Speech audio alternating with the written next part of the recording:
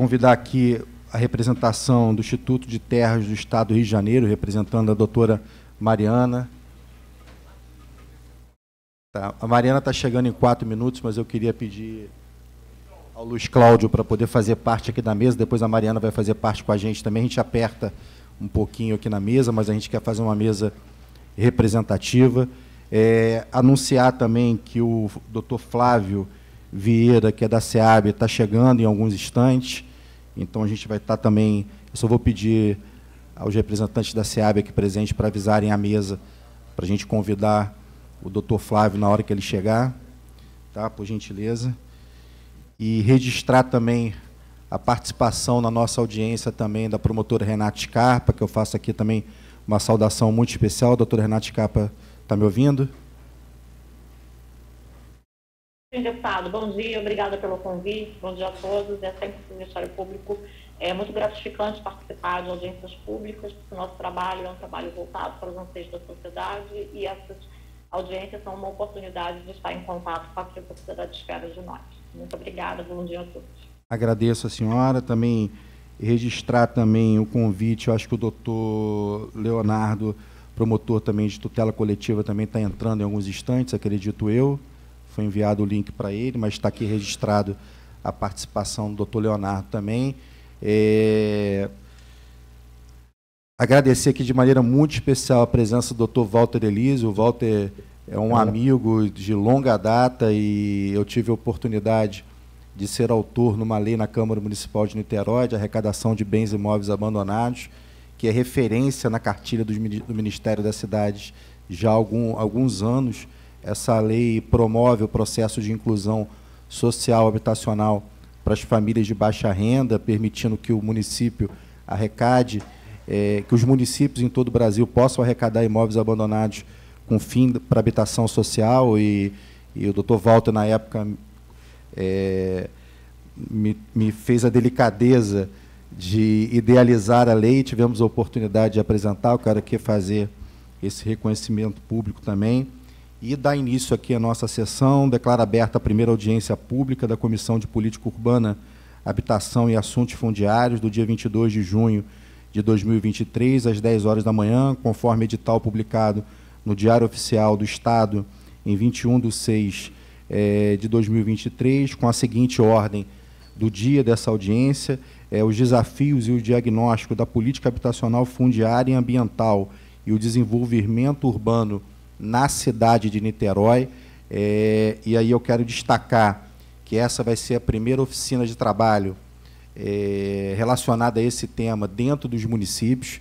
Niterói vai ser o primeiro município, mas a gente já dentro da comissão de habitação, eu quero que fazer uma saudação especial ao presidente da comissão, o deputado Caiado, que nos permitiu que, como membro da comissão de habitação, nós pudéssemos é, traçar um diagnóstico em cada região do Estado e a ideia e a vontade dessa comissão é que a gente possa apontar através é, de através desse diagnóstico iniciativas para o governo do estado, para o governo federal e para os municípios no que se diz respeito a essa política de habitação e inclusão social é, nas cidades. Então a ideia aqui hoje foi convidar os secretários do município de Niterói. A gente vai estar dividindo aqui em quatro painéis. É, o secretário Renato Barandier vai apresentar aqui um diagnóstico urbano do município e tudo que se tem é, de apontamento urbanístico para promover ação habitacional. O secretário, em seguida, depois, o secretário municipal de habitação vai apresentar é, um diagnóstico da política habitacional no município ao longo desses últimos anos e os desafios que o município de Niterói tem para enfrentar esse déficit habitacional. Em seguida, a gente vai ter aqui a apresentação da Secretaria de Meio Ambiente, onde nós é, estamos dialogando com o secretário Rafael, é, identificando o mapa verde da cidade, mas, acima de tudo, entendendo de que forma a habitação social pode se encaixar nessa proteção ambiental, respeitando o meio ambiente, mas também respeitando esse processo de inclusão habitacional que a gente vem aqui é, colocando nessa pauta da audiência de hoje. E, por último, a gente fecha com a apresentação da Emusa, que vai trazer um pouco dos resultados, é, das intervenções e dos resultados realizados na cidade ao longo de, desse último período e de que maneira é, isso melhorou a condição habitacional dessas famílias. E no final desse trabalho, a sugestão dessa comissão é que a gente possa ouvir a Caixa Econômica Federal, possamos ouvir o Instituto de Terra do Estado do Rio de Janeiro, é, possamos aqui ouvir a SEAB. Eu já quero convidar aqui para fazer parte da mesa o nosso presidente da SEAB, doutor Flávio Vieira, quer dizer, o nosso diretor responsável da SEAB, doutor Flávio Vieira, quero aqui pedir ele para já compor a nossa mesa também. Então, o, da mesma maneira, o Instituto de Terras do Estado do Rio de Janeiro colocar um pouco da sua avaliação em relação aos desafios habitacionais e fundiários é, da nossa da cidade de Niterói, é uma cidade que eu tenho um carinho muito especial. Fui vereador lá por três mandatos, tive a oportunidade também de ser secretário de Desenvolvimento Econômico do município, secretário de governo, presidente da CRIM. Temos uma história de vida e de luta no município de Niterói e acreditamos que Niterói pode ser o grande piloto dessas ações de incentivo para o município. Convidar aqui a doutora Mariana, nossa presidente da, do ITERG, para poder fazer parte da mesa. Eu vou pedir só para botar mais uma cadeira aqui. Eu queria, se permitir, botar aqui uma cadeira aqui do meu lado, porque a gente precisa ter mais representação de mulheres no parlamento. É, em todas as esferas de poder. Convidar aqui a doutora Mariana. Essa semana a gente teve um evento com o ministro Flávio Dino em Niterói e ele proibiu o início do evento se não tivesse uma composição de mulheres feminina na, na nossa mesa de trabalho. Então, quero aqui também nessa mesma linha, também colocada por ele, iniciar a nossa audiência. E depois, é, doutora Renata, eu queria uma avaliação da senhora em relação também a tudo apresentado, o que o Ministério Público é, pode colaborar no sentido que a gente possa ter uma proteção ambiental para as famílias de baixa renda do município, dessas famílias que mais precisam de, da participação do poder público na melhoria de vida delas. Então, eu, aí, com a senhora, a gente pode fechar aqui é, e dar encaminhamento ao passo, aos próximos passos que esse grupo de trabalho aqui formado nessa audiência pública de hoje pode colocar. Então, queria convidar o secretário Renato Barandier para iniciar aqui a sua apresentação e, em seguida, o secretário Rafael.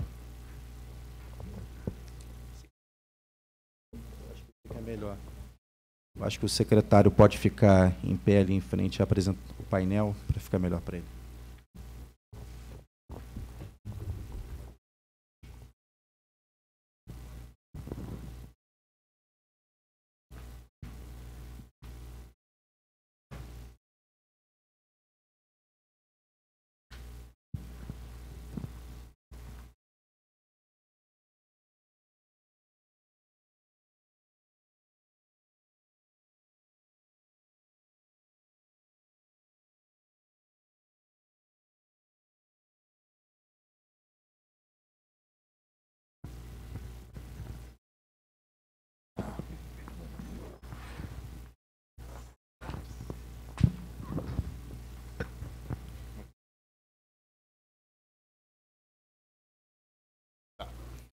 É, bom dia a todas e todos. Bom dia, deputado Vitor Júnior. É, quem eu saúdo e agradeço o convite, a possibilidade de estarmos todos aqui da Prefeitura de Niterói apresentando é, um pouco do nosso trabalho, uma parte do nosso trabalho. Eu vou começar a fazer uma apresentação olhando um pouco mais, de forma um pouco mais estratégica do planejamento urbano, que é importante para entender não só a atuação é, no, na área do desenvolvimento urbano, do urbanismo, planejamento urbano, mas também acho que explica muita coisa que os meus colegas secretários aqui é, vão apresentar em termos de conjunto de investimentos que estão sendo realizados hoje em Niterói. Pois bem, é, uma rua começa, uma cidade começa com uma rua. Sou arquiteto urbanista. Os urbanistas fundamentalmente trabalham com a rua, em primeiro lugar sempre com uma rua que se começa uma cidade, né? Deixa eu ver aqui. Não está indo? Pode passar. Enfim, é, é, a, a, cidade em si se dá pelos mais variados fluxos, é, seja motorizado, não motorizado, de pessoas com restrição à mobilidade. Aqui é uma imagem do alargamento da Marquês do Paraná, uma obra impactante que fizemos recentemente. É, é um espaço de encontro, os espaços públicos são fundamentais para a relação intersocial de todas as classes sociais dentro da cidade também. É um espaço de integração social, é uma estação de, de ônibus como a da Transoceânica, que inauguramos tem quatro anos, vira uma praça. É, vira uma praça, um lugar de encontro é, das pessoas. Acho que apagou aqui.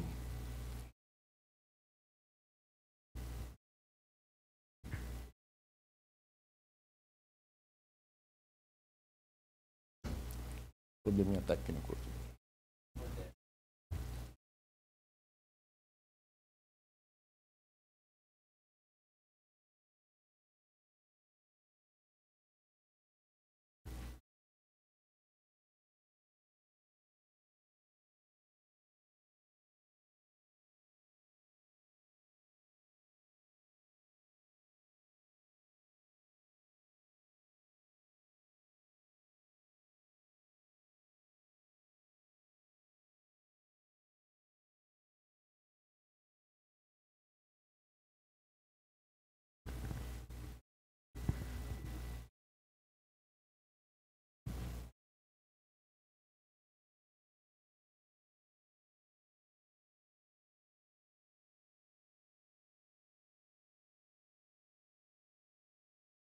Enquanto a gente resolve esse probleminha técnico ali no, na apresentação, agradecer também aos companheiros aqui presentes, ao secretário da região de Pendotiba, Antonino, ao subsecretário da região do Rio ao Márcio, às lideranças comunitárias aqui presentes, a representação do mandato do deputado Anderson Pipico, do deputado Beto da Pipa.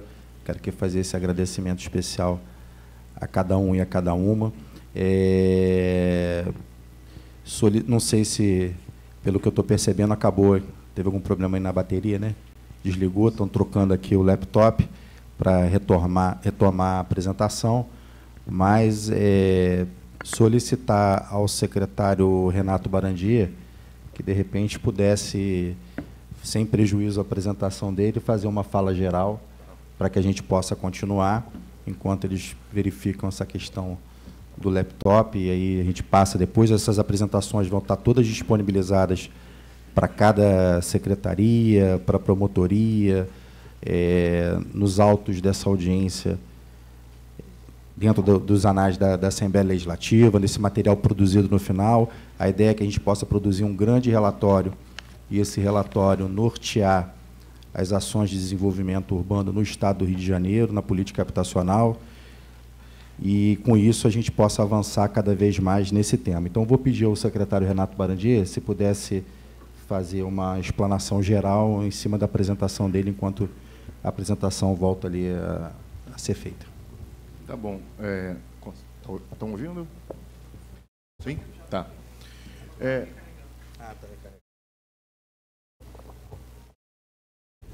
Vocês acham que consegue ser rápido aí ou, ou consegue, né?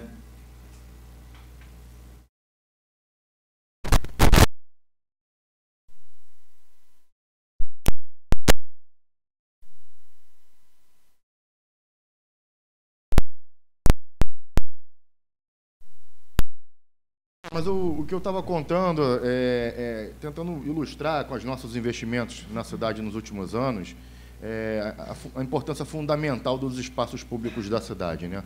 As ruas são espaços de circulação de pessoas, de mercadorias, seja no transporte público, no transporte individual, motorizado, não motorizado. São espaços de integração social entre as diversas classes de renda. A gente nas barcas, na, nos ônibus, nas praças, é, a gente tem a mistura entre pessoas, crenças, rendas, é, é, o que há de mais democrático em uma cidade. E isso tudo legitima o interesse público a fazer investimentos é, que promovam a recuperação desses espaços públicos, é, que foram, de certa forma, deputado, assim, é, colocados na sombra nessas últimas décadas. A partir da segunda metade do século XX, 1950, é, o Brasil e grande parte do mundo passou a orientar os investimentos muito para automóveis, muito para a política rodoviarista, e as ruas passaram a ser mais um espaço de priorização de trânsito, de engenharia de tráfego, e menos um espaço de convívio social. Né? A gente, a partir daí, é, experimentou em Niterói a inauguração da Ponte Rio-Niterói. Até a década de 70, a única ligação entre a ex-capital do Estado e, e o Distrito Federal, o antigo Estado da Guanabara, era por meio das barcas. Rio-Niterói pelo transporte público coletivo e a partir da década de 70 com a ponte Rio-Niterói uma enxurrada de veículos privados individuais se deslocou em direção a Niterói, o que gerou um processo de expansão nunca visto, sem precedentes na história da cidade. Em apenas 40 anos, Niterói cresceu duas vezes mais do que nos 400 anos anteriores. Niterói, para quem não sabe, completa 450 anos esse ano e esse conjunto de investimentos que todos nós vamos apresentar estão no âmbito do é, Plano Niterói 450. Enfim, Niterói triplicou de tamanho em 40 anos, é, na escala do automóvel, prioritariamente é, direcionado para públicos de mais alta renda, né? que são quem tem são as pessoas que têm capacidade de os possuidores de automóvel que têm capacidade de comprar e manter um automóvel e aí os desafios do transporte público, não só em Niterói, mas em todas as cidades do Brasil, pelo menos em regiões metropolitanas, é, começou a ficar mais, mais evidente. E para reverter isso tudo, o que a gente vem fazendo é buscar é, combater a segregação socioespacial provocada por essa política urbanista, modernista, que a gente veio nos últimos 50 anos, que priorizou o automóvel e transformou as ruas em espaços de circulação e não mais de convívio social. Fizemos, é, na Transoceânica, um projeto de transporte, a requalificação de seis praças, uma antiga, duas rotatórias antigas, solução viária de automóvel, se transformaram em praças com estações, onde as pessoas hoje utilizam como se fosse aquela estação, o banco da praça. É, crianças é, das escolas marcam ponto de encontro isso mostrando a carência e a importância de espaços públicos nesse processo de espraiamento urbano, sem espaços públicos é, na escala do lote é, individual. É, fizemos o alargamento da Marquês do Paraná, é, que duplicou um gargalo da cidade. É uma pena porque eu tinha umas ilustrações, umas fotos que mostravam como era Marquês do Paraná antes. Já, já em alguns minutos já vai ter capacidade ali de, de mostrar. É, mas era o maior gargalo da cidade. Praticamente dois terços de toda a cidade dependiam dessa via para se deslocar em direção ao centro de Niterói e a ponte. E hoje é um espaço que as áreas residuais viraram praças, a gente tem ciclovia, pontos de ônibus, faixa exclusiva para ônibus. É um espaço de absoluta mobilidade é, para todos dentro da cidade de Niterói. Acho que agora voltou ali para ilustrar, só para ilustrar melhor. Bom, como eu disse, né, aqui são esses investimentos, a Rua Paulo Alves, por exemplo. E um aspecto que é, explica muito do que a gente vive dessa situação hoje, além de toda, toda a questão cultural do rodoviarismo, é a legislação urbana. A gente, a gente tem hoje, não só em Niterói, mas é, na cidade do Rio, em diversas outras cidades do Brasil, uma legislação muito orientada para o interior do lote que se preocupa em áreas de lazer, para quem consegue pagar, se o pilar está prejudicando a vaga do carro privado e que olha muito pouco é, para o lado de fora da cidade, para a rua. Né? É, a gente vê aqui em Niterói, isso é uma imagem para ilustrar, na época da inauguração da ponte, apenas é, 15%, 14% da cidade era ocupado pela população e nesses últimos 40 anos, depois da ponte de Niterói, a cidade triplicando de tamanho nesse processo de espraiamento. Né? E para a rua, que era o principal ponto é, de convívio social, antes do rodoviarismo, do transporte público, dos avós, da escala do bonde, que pouco a pouco vem recebendo automóveis, sobra hum, espaços residuais, onde as pessoas têm que andar pela rua, não tem condição de é, trânsito de ciclovias. A legislação também acaba induzindo grandes estacionamentos e aí por conta disso houve muitas, houveram muitas alterações é, em gabaritos da cidade. Percebe o prédio ao lado, mais baixo, tem o mesmo gabarito de, de pavimentos é, que esse em primeiro plano. A diferença é que o primeiro tem o dobro da altura só de garagem para automóvel. Então, olha a verticalização surgindo como um efeito negativo também dessa, desse rodoviarismo. Aí a perda de conexão com a cidade transforma muros, impermeabiliza o solo e gera segregação socioespacial. Essa é uma foto que não é de Niterói, mas é uma foto que a gente usa porque marcou o Brasil inteiro, todo mundo no Brasil, de norte a sul, conhece essa foto, lá em São Paulo, que mostra o que a legislação exige para um e o que a legislação acaba deixando para aqueles que não têm acesso, enfim, a, a, a tudo o que ela exige hoje para se aprovar um projeto. Enfim, como é que a gente pode valorizar a rua? Valorizando o térreo. O térreo está no nível da rua. Né? Então a gente tem uma série de medidas que a gente tra tem trabalhado, a permeabilidade visual para acabar com aqueles muros, é, o uso misto, como na Marquês do Paraná, que envolve residências é, e comércio para as pessoas poderem ir a pé satisfazer necessidades. É, a fachada ativa, que coloca olhos e segurança nas ruas, seja de dia, seja de noite. Isso são todas imagens de Niterói, tá?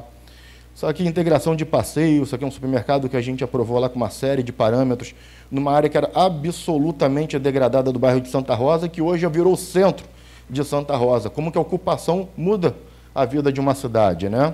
Quando bem trabalhada.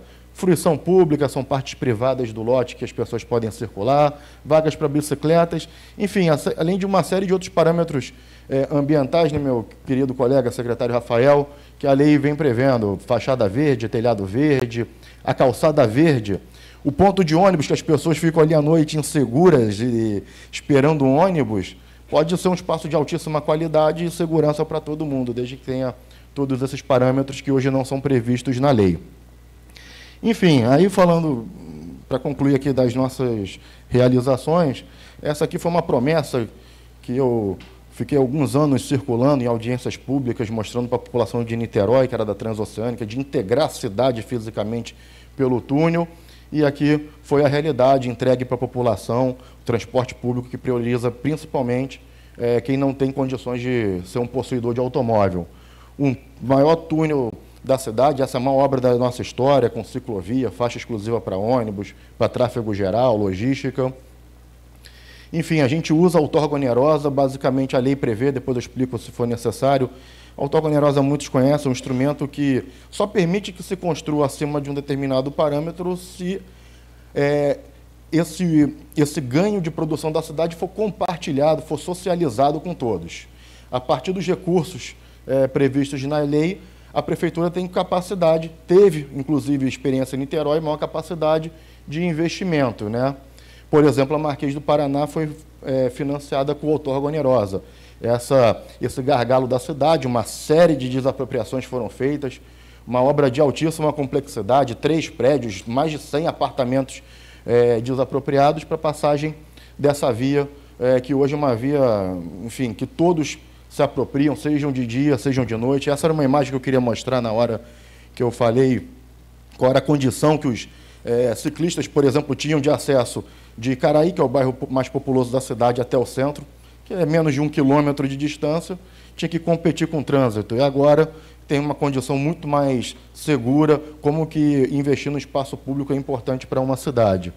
E agora, mais recentemente, esse é o último para concluir, investimento que a gente está conduzindo é o Centro 450. A gente está fazendo toda a requalificação do centro, a gente está começando pela Avenida Visconde do Rio Branco, que é onde todo o trânsito de transporte e, e, e, individual acaba chegando em Niterói, no final das contas, por causa do terminal João Goulart e das barcas. É um grande espaço de mobilidade que tem grandes áreas vazias que serviam de mero estacionamento. Com esse projeto, a gente já encerrou 1.400 vagas de estacionamento privado e, a partir de agora, a gente está começando a produzir habitação acessível para quem precisa ao lado da, das universidades, do comércio, do emprego, das barcas, do terminal João Goulart, enfim, no centro e no coração da cidade. É, hoje, um dos estacionamentos que a gente tem é, bloqueiam a frente marítima, esse é o pôr do sol para 200 mil pessoas diariamente, e com a obra, a cidade vai ter integração com a sua Baía de Guanabara, que é uma vista pública notável, um patrimônio da nossa cidade. É, a partir dessa integração da, das barcas, com os estacionamentos públicos, da, da, das barcas com o terminal João Goulart, a gente tem um espaço é, de altíssima qualidade. E deixo essa foto aqui para terminar, é como a gente tem hoje.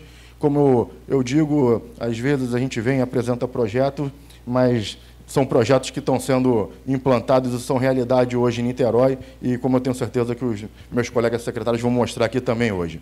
Muito obrigado, desculpa o problema técnico, um bom dia a todas e todos.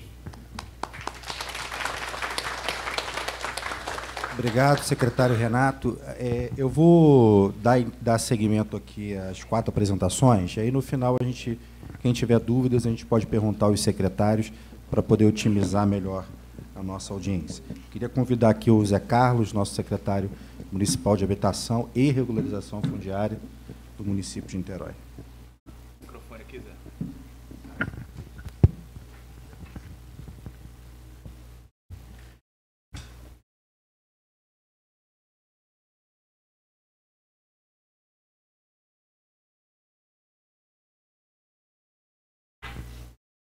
Bom, enquanto é, eles colocam a apresentação lá na tela, eu já vou saudando a mesa para a gente ganhando tempo. Né? Bom dia, deputado Vitor Júnior, muito obrigado pelo, pelo convite, pela oportunidade da gente falar um pouco mais da nossa cidade e dos projetos que a gente lá desenvolve. É, bom dia, o meu amigo Alan Delfino, superintendente da Caixa, o Antônio Lorosa, presidente da Emusa, Flávio Vieira, que tive a oportunidade de conhecer recentemente, mas sei que será um grande parceiro da SEAB, a doutora Mariana Felipe, do ITERJ, o ITERJ também, a gente tem desenvolvido grandes parcerias, e a gente vai falar de parcerias daqui a pouquinho. O Rafael, nosso secretário de Meio Ambiente, e o meu eterno companheiro do, do ITERJ ali, Luiz Cláudio. Doutora Renata Scarpa, bom dia. Colegas da Prefeitura de Niterói, em especial meus é, é, companheiros lá da Secretaria de Habitação e Regularização Fundiária. Bom, a Prefeitura de Niterói, ela trabalha com um planejamento estratégico de longo prazo para resolver alguns dos nossos problemas, vários dos nossos problemas. O déficit habitacional é um problema sério não só na cidade de Niterói, mas no Brasil. Aqui, só para a gente ter uma noção, é, o déficit quantitativo do país são cinco, quase 6 milhões de unidades habitacionais. E o déficit qualitativo, 11 milhões de unidades habitacionais. Uh, nós, nós todos não temos um censo atualizado essa, é, é, é, da cidade para que nos passasse a radiografia exata de qual seria o nosso déficit. Então, a gente utiliza o nosso cadastro habitacional local para sinalizar quanto seria a nossa necessidade de produção habitacional de uma forma que eu vou explicar para vocês daqui a pouco. Pode passar, por favor. Nós fizemos também um, um, um construímos um plano de regularização fundiária sustentável para o município. A primeira etapa do plano, que seria um diagnóstico fundiário, ele foi concluído.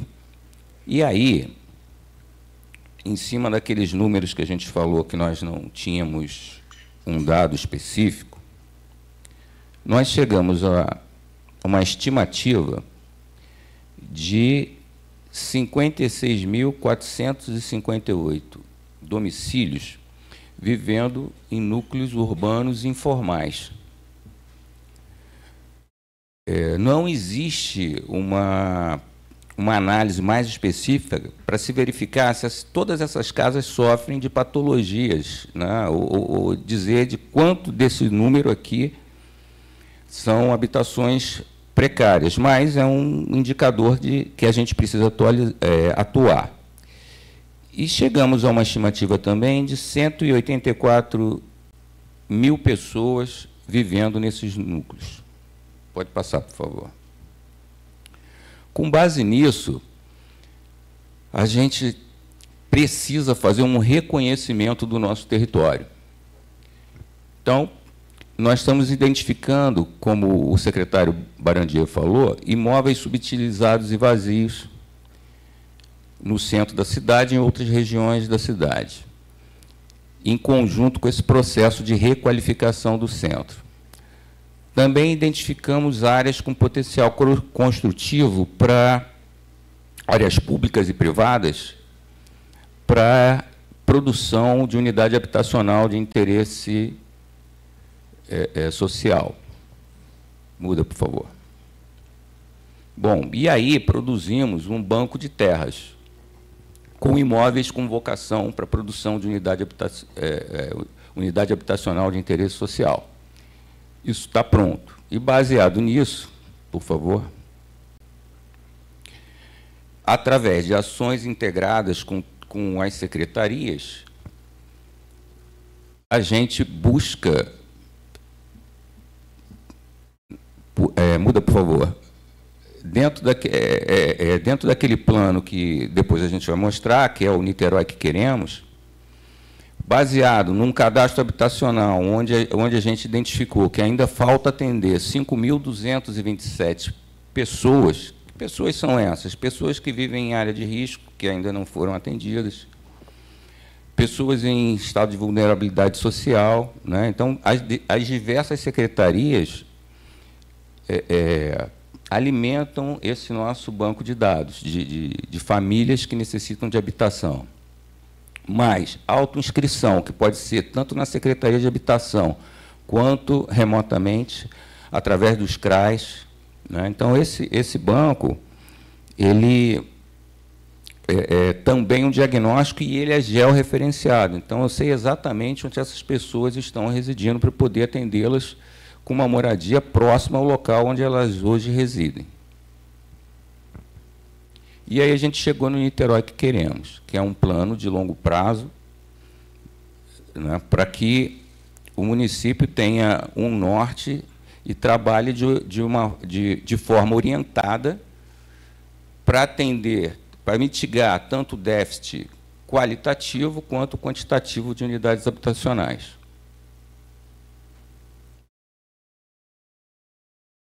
Bom, hoje a população estimada de Niterói é, é 516 mil, 517 mil habitantes. A gente tem aquele número que eu passei para vocês de 156 pessoas que ainda residem em núcleos informais. Daí a importância dos projetos de regularização fundiária que a gente vem desenvolvendo na cidade. Todos os projetos nossos eles são alinhados na Agenda 2030. E nesse plano Niterói que queremos, ele é dividido em, em, áreas de resultado. A nossa área de resultado é a Niterói inclusiva. Pode mudar, por favor. Bom, essa é a produção habitacional que a gente vem tendo na cidade. Muda mais uma. Nós. É, não, aí. Nós temos diversos empreendimentos, a gente vai mostrar depois detalhadamente o quantitativo que nós já executamos. Mas o principal é que hoje a gente já desenvolve projetos com questões de sustentabilidade, né, de, de geração de emprego e renda. A gente leva em consideração todos esses princípios na nossa produção habitacional. Pode passar. Para atingir o déficit qualitativo, que são aquelas 50, cerca de, de, de, daquelas 56 habitações em comunidades, todo o nosso projeto de regularização fundiária tem projetos de melhorias habitacionais conjugados. E a gente trouxe para citar os que estão em desenvolvimento, que são na Cocada, no Capim Melado e em Vila Ipiranga. Nesses projetos também a gente já está começando a desenvolver com é, é, reflorestamento e captura de, de carbono. As parcerias são fundamentais para a gente conseguir dar conta desse desafio enorme. Né? E aqui nós temos parceiros como o ITERG, como a SEAB, a Caixa, mas fazemos parceria também com as universidades, não só a UF, mas a UFRJ, o UERJ e universidades privadas como a Unilassalle e a Estácio.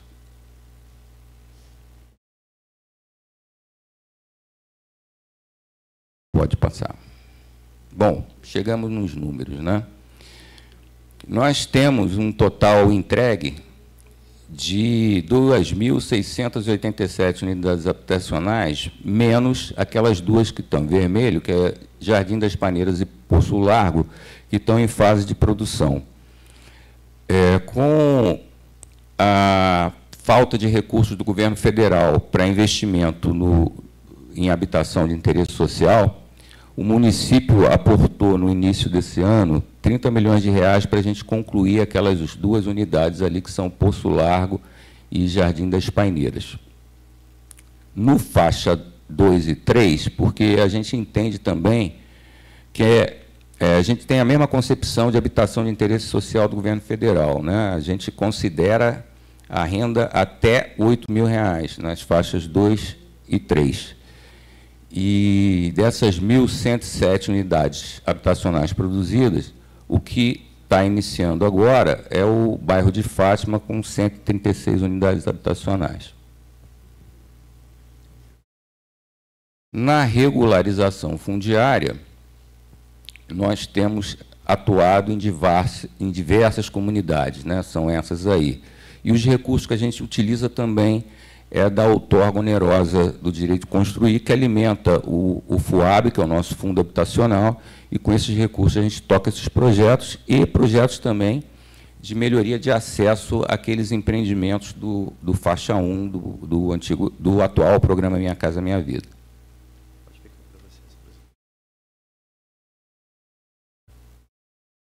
Esse é um exemplo de um, de um projeto integrado. A comunidade do Sabão ela fica na subida da ponte, ali na, é, é, no centro de Niterói, e próximo a um equipamento público que o município vai entregar agora, que é o mercado municipal. E essas, essas famílias ali eram um, são terrenos da, me parece, me corrija se eu estiver errado, são terrenos da SEAB, e que nós desenvolvemos em parceria com a UF, projeto de regulação fundiária, e estamos aportando também agora, além de melhoria na infraestrutura urbana, é, é, melhorias habitacionais.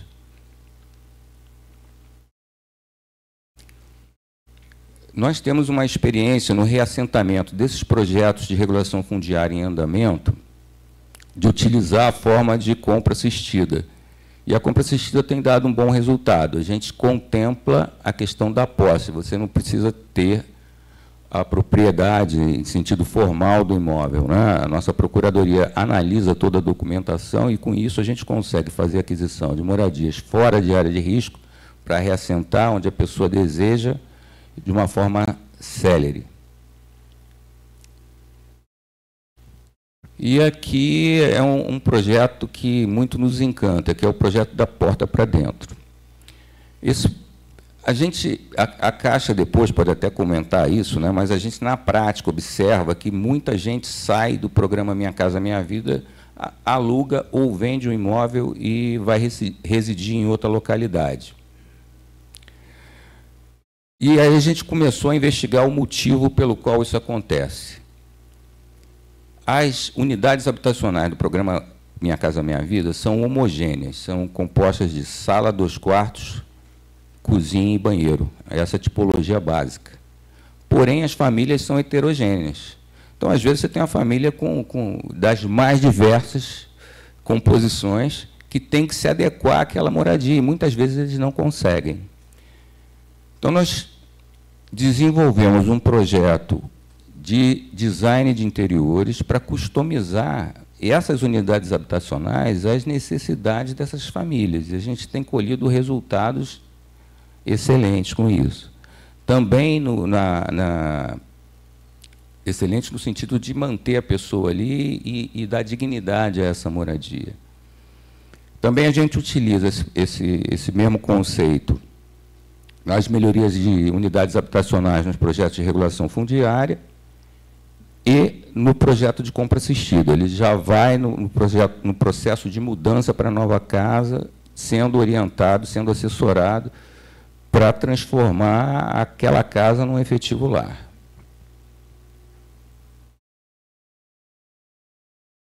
Bom, a gente entende que a habitação é uma ferramenta para tratar problemas urbanos. E atacar o déficit habitacional, ele não é só desenvolvido através de produção de unidades habitacionais, mas também por, com a produção de unidades habitacionais associadas a ações de regulação fundiária e de melhorias habitacionais.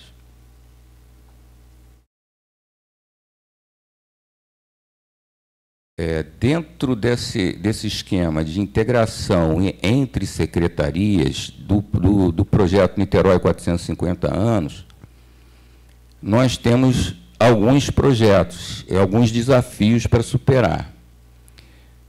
É, nós estamos em parceria com a FIP desenvolvendo um, uma PPP, PPP habitacional de interesse social.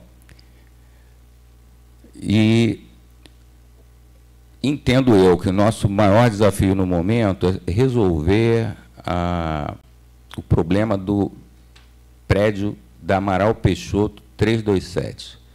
É um prédio que de 350, mais de 350 unidades, que foi interditado, desocupado por, por ordem judicial e que nós pretendemos retrofitar esse prédio dentro, da, do, dentro do bojo dessa PPP habitacional e dentro também desse projeto de requalificação do centro da cidade que o secretário Barandier apresentou para nós. As, as, eh, as intervenções na habitação de interesse social, elas têm que seguir essa lógica, né? tem que ter um, um prioritariamente né, as populações mais necessitadas na faixa 1 do, do programa Minha Casa Minha Vida, que vai de um, de, de um salário até R$ 2.600 de renda hoje. A gente tem que analisar critério de risco, você não pode fazer essas implantações ou regularizações fundiárias em locais de risco. Então, elas têm que passar por análises técnicas, e sempre alinhada com a questão ambiental, a questão da sustentabilidade, buscando o bem-estar dessas famílias. Um projeto que a gente quer apresentar para a SEAB, e que já está pronto, seria um projeto de melhoria habitacional, regularização fundiária numa comunidade é, pesqueira na, na, na região de Jurujuba, na Baía de Guanabara, Ali nós temos uma comunidade que vive do beneficiamento de marisco. E esse projeto, além de agregar essa questão habitacional, ele contempla emprego e renda, né, com, com desenvolvimento da atividade, beneficiamento da casca do marisco, saneamento da Bahia, porque essas famílias não têm rede de água e esgoto regular ali, é um, é um foco de poluição e, e adequação urbana também de, de, das vias que estão lá. Né? A gente está com isso pronto, a gente está com uma agenda aí com a SEAB, marcando com a SEAB para apresentar o projeto.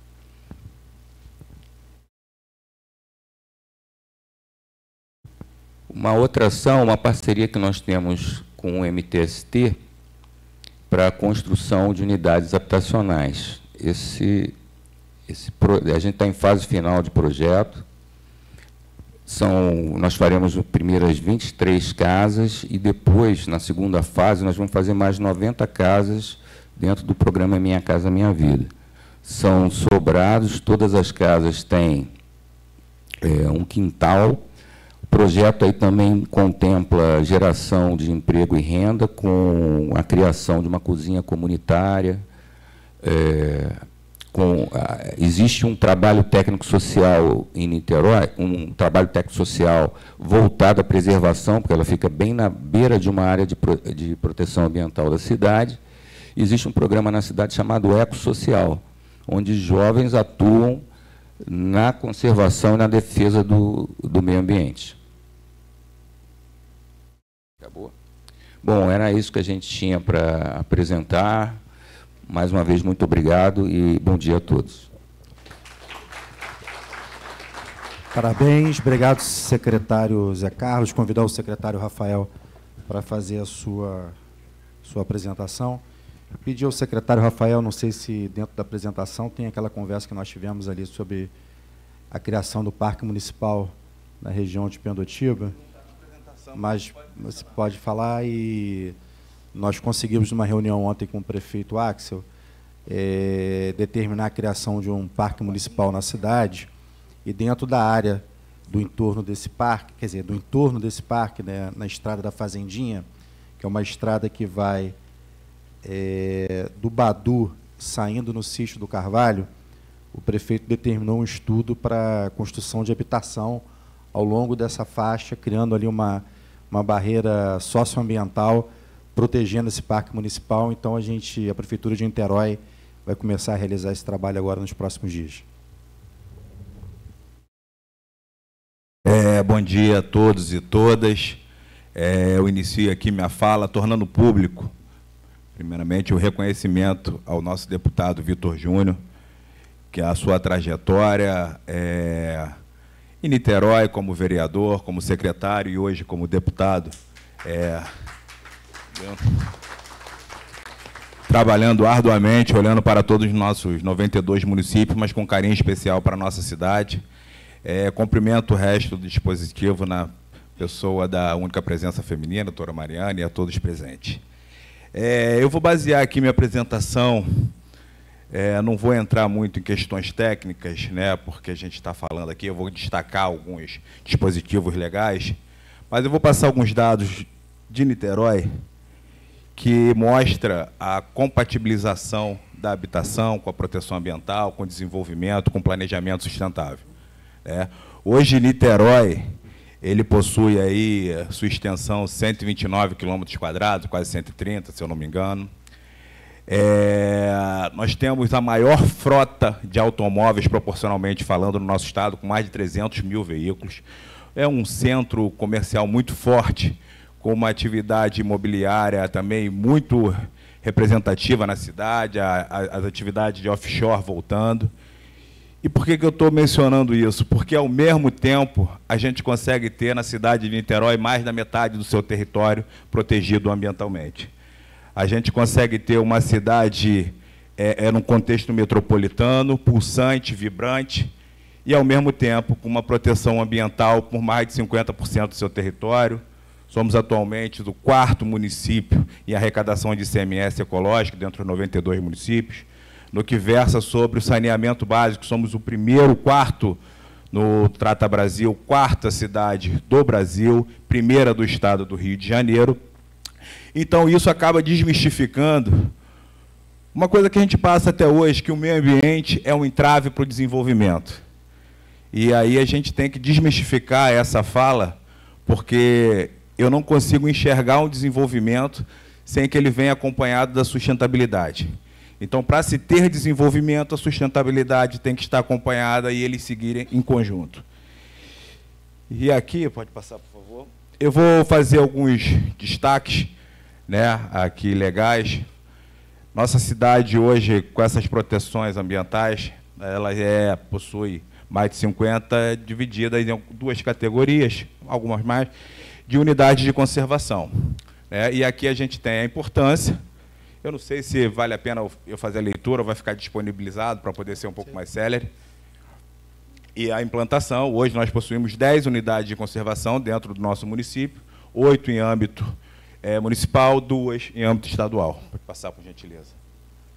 Regularização fundiária, entende-se o processo necessário a fazer com que a área que integra a unidade de conservação esteja na posse e domínio de quem é de direito Eu só gostaria de fazer uma correção, deputado, fazer uma saudação à doutora Renata Scarpa, que eu esqueci de falar, doutora que é uma grande parceira nossa lá, a quem eu agradeço todos os a parceria. E nós temos algumas modalidades. Domínio público, né, que são nossos seis, são nossos parques, que há a necessidade de repassar ao domínio do ente que as instituiu a propriedade de toda a área existente em seu interior. E aí a gente tem feito isso em Niterói, desapropriando dentro dos nossos parques, fazendo a regularização fundiária ambiental e a realocação desses moradores dentro dos programas que a, a cidade tem, junto à habitação e a domínio privado, que hoje nós estamos em fase de implementação da primeira RPPN da cidade de Niterói, na região do Muriqui. Passar, por gentileza. O quê? Ah, tá. Eu não tenho muito, muito costume. E aí eu estou elencando aqui nossas unidades de conservação de proteção integral, onde a habitação ela não é compatível com o seu regime. Né? Então a gente tem trabalhado muito em Niterói para, de alguma forma, é, obviamente, quando a gente fala de habitação, a gente está falando de, de, de, direito fundamental, da coisa mais importante do ser humano, que é a sua propriedade, que é a sua segurança de chegar em casa, ter uma, a sua casa. Né? Então, a gente tem que, de alguma forma, como gestor, como governo, é, tentar compatibilizar, tentar proporcionar, é, é, é ser um resolvedor desse problema. Então, essas são nossas UCs de proteção integral. É, ali o Asterix, que é o morcego, que é a mais recente. Eu faço uma menção ali ao Parque Natural Municipal Floresta do Baldeador, que também foi no final de 2021, a primeira unidade de conservação da Zona Norte da nossa cidade, é, contemplando 70 hectares de proteção ambiental, então é um grande feito que a gente tem conseguido lá. Pode passar, por gentileza. Aí apenas um mapa com as suas legendas, que ficará disponibilizado depois para qualquer análise, um pouco mais técnica. E aí, como eu disse, eu fiz alguns destaques é, é, de legislação que norteia a política ambiental.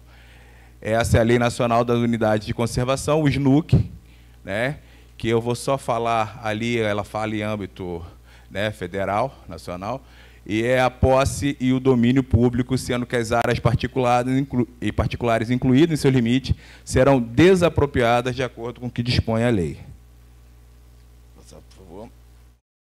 E nós temos uma outra modalidade, que são as unidades de conservação de uso sustentável em Niterói. Essas são as, as que integram a nossa cidade. Né? Pode passar, por gentileza. O mapa, mais uma vez fazendo todo o seu zoneamento. E você pode ver, eu não sei, a gente tem aqui, obviamente, morador em Niterói, mas as pessoas conhecem Niterói. É, você vê a APA da Lagunas e Florestas, é a maior. E o uso sustentado ela é compatível com a habitação, ela é compatível com o seu uso. É. A Lei Nacional das Unidades de Conservação, que a gente tá, destacou aqui o artigo 15, que fala sobre onde fala de área de proteção ambiental, terras públicas, privadas, pode ser estabelecido normas e restrição para a utilização de uma propriedade privada. Vou passar, por gentileza. Já passou?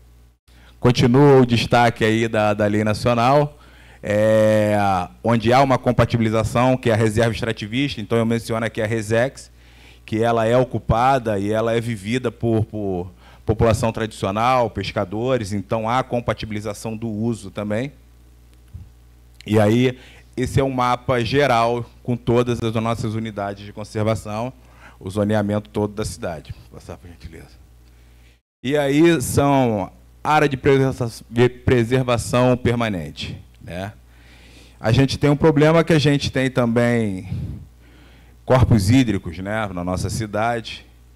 E as áreas de preservação permanente está ali, como tem dito ali, são as nossas FMPs e a gente tem alguns problemas na nossa cidade, que a gente tem buscado soluções.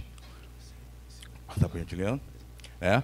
é. Área protegida, coberta ou não por vegetação nativa, com a função ambiental de preservar os recursos hídricos, a paisagem, a estabilidade geológica, a biodiversidade, facilitar o fluxo de, de fauna e flora, proteger o solo e assegurar o, o bem-estar. É? Eu não vou fazer a leitura, mas que eu só mencionar a FMP e trazer um exemplo prático, que depois, ao final da minha apresentação, eu vou aqui mencionar dois projetos que estão sendo executados é, é, na cidade de Niterói, que eu acho que coadunam com a temática aqui do, do, do, da presente audiência. Projeto de regularização fundiária em áreas de preservação permanente. Pode passar, por gentileza. Isso aí a gente teve que criar, obviamente, no nosso dia a dia, identificando, identificando os calos que a administração pública tem, é, de moradias dentro da área de preservação permanente, inseridos dentro das FMPs. E aí a gente está tratando, como eu falei anteriormente, de habitação, de maior objeto, maior propriedade, maior que um ser humano, que uma família pode ter, que é a proteção do lar. E aí a gente não conseguia, eles não conseguiam regularizar suas casas, porque elas estavam inseridas dentro de FMP, dentro das APPs. E aí a gente buscando com orientação, só mencionando, ó, acredito que todos sabem que o nosso prefeito é um grande ambientalista, né? E seguindo sua orientação, a gente buscou compatibilizar é, é, algumas soluções para esses cenários para poder dar a devida regularização para esses moradores. Então, ah, você passou o decreto? Não, só instituímos um decreto onde tem alguns pré-requisitos que, independente, hoje mesmo estando a sua casa, a sua residência dentro de uma FMP, dentro de uma APP, elas são passíveis de serem regularizadas e a gente consegue dar essa segurança jurídica para esses moradores. E agora eu vou para mostrar um pouco na prática como isso reflete na vida da sociedade, das pessoas da nossa cidade. Esse é um grande projeto, é a renaturalização da bacia do Rio Jacaré, na região oceânica da cidade. Era uma área antiga, né, que era área de sítios, na região oceânica, e tem o Rio Jacaré, que é o maior contribuinte da nossa lagoa de Piratininga. E aí nós estamos promovendo um, um grande projeto lá de renaturalização, mas não apenas do Rio, porque ali ela é há comunidades, há pessoas em vulnerabilidade social que moram ali com dificuldade, e é obviamente que nenhum governo, ninguém, nenhum ser humano pretende não não acomodar a sua população, o seu, as famílias e começamos a buscar alguns caminhos. O decreto que eu mencionei anteriormente serve para fazer a regularização fundiária dessas pessoas.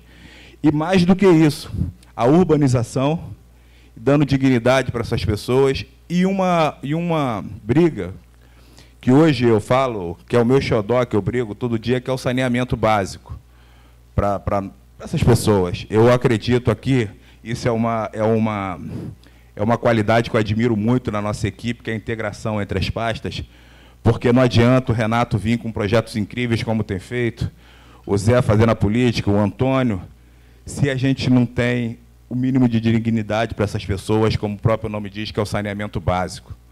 São obras que ficam debaixo, que quase ninguém vê, mas que realmente impactam na vida das pessoas.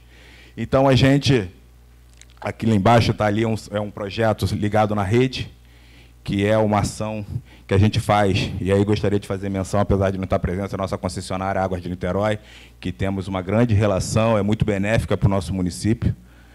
E é um projeto em que a gente vai de formiguinha, casa a casa, identificando se aquela residência está devidamente conectada à rede coletora de esgoto. E aí, nessa nossa relação, problemas acontecem, obviamente, na prestação de serviço, e, através de uma infração administrativa aplicada à concessionária Águas de Niterói, começamos a costurar uma compensação ambiental. Né? E depois de muita discussão, é, com o apoio da nossa Procuradoria, chancelado pelo Ministério Público, nós construímos um grande programa, que é o Ligado na Rede Eixo Social, onde, porque, só mencionando, a, a responsabilidade da concessionária é levar a rede né, até onde fisicamente é possível. A intradomiciliar é de responsabilidade do morador, é responsabilidade nossa. E ela tem um custo. E muitas das vezes as pessoas em vulnerabilidade não há mínima condição financeira de arcar. E aí trabalhamos essa compensação ambiental, chegamos a um valor, e hoje nós estamos com um programa fazendo a conexão de forma gratuita de mais de 640 residências no município de Niterói, todos eles inseridos no CAD único da cidade.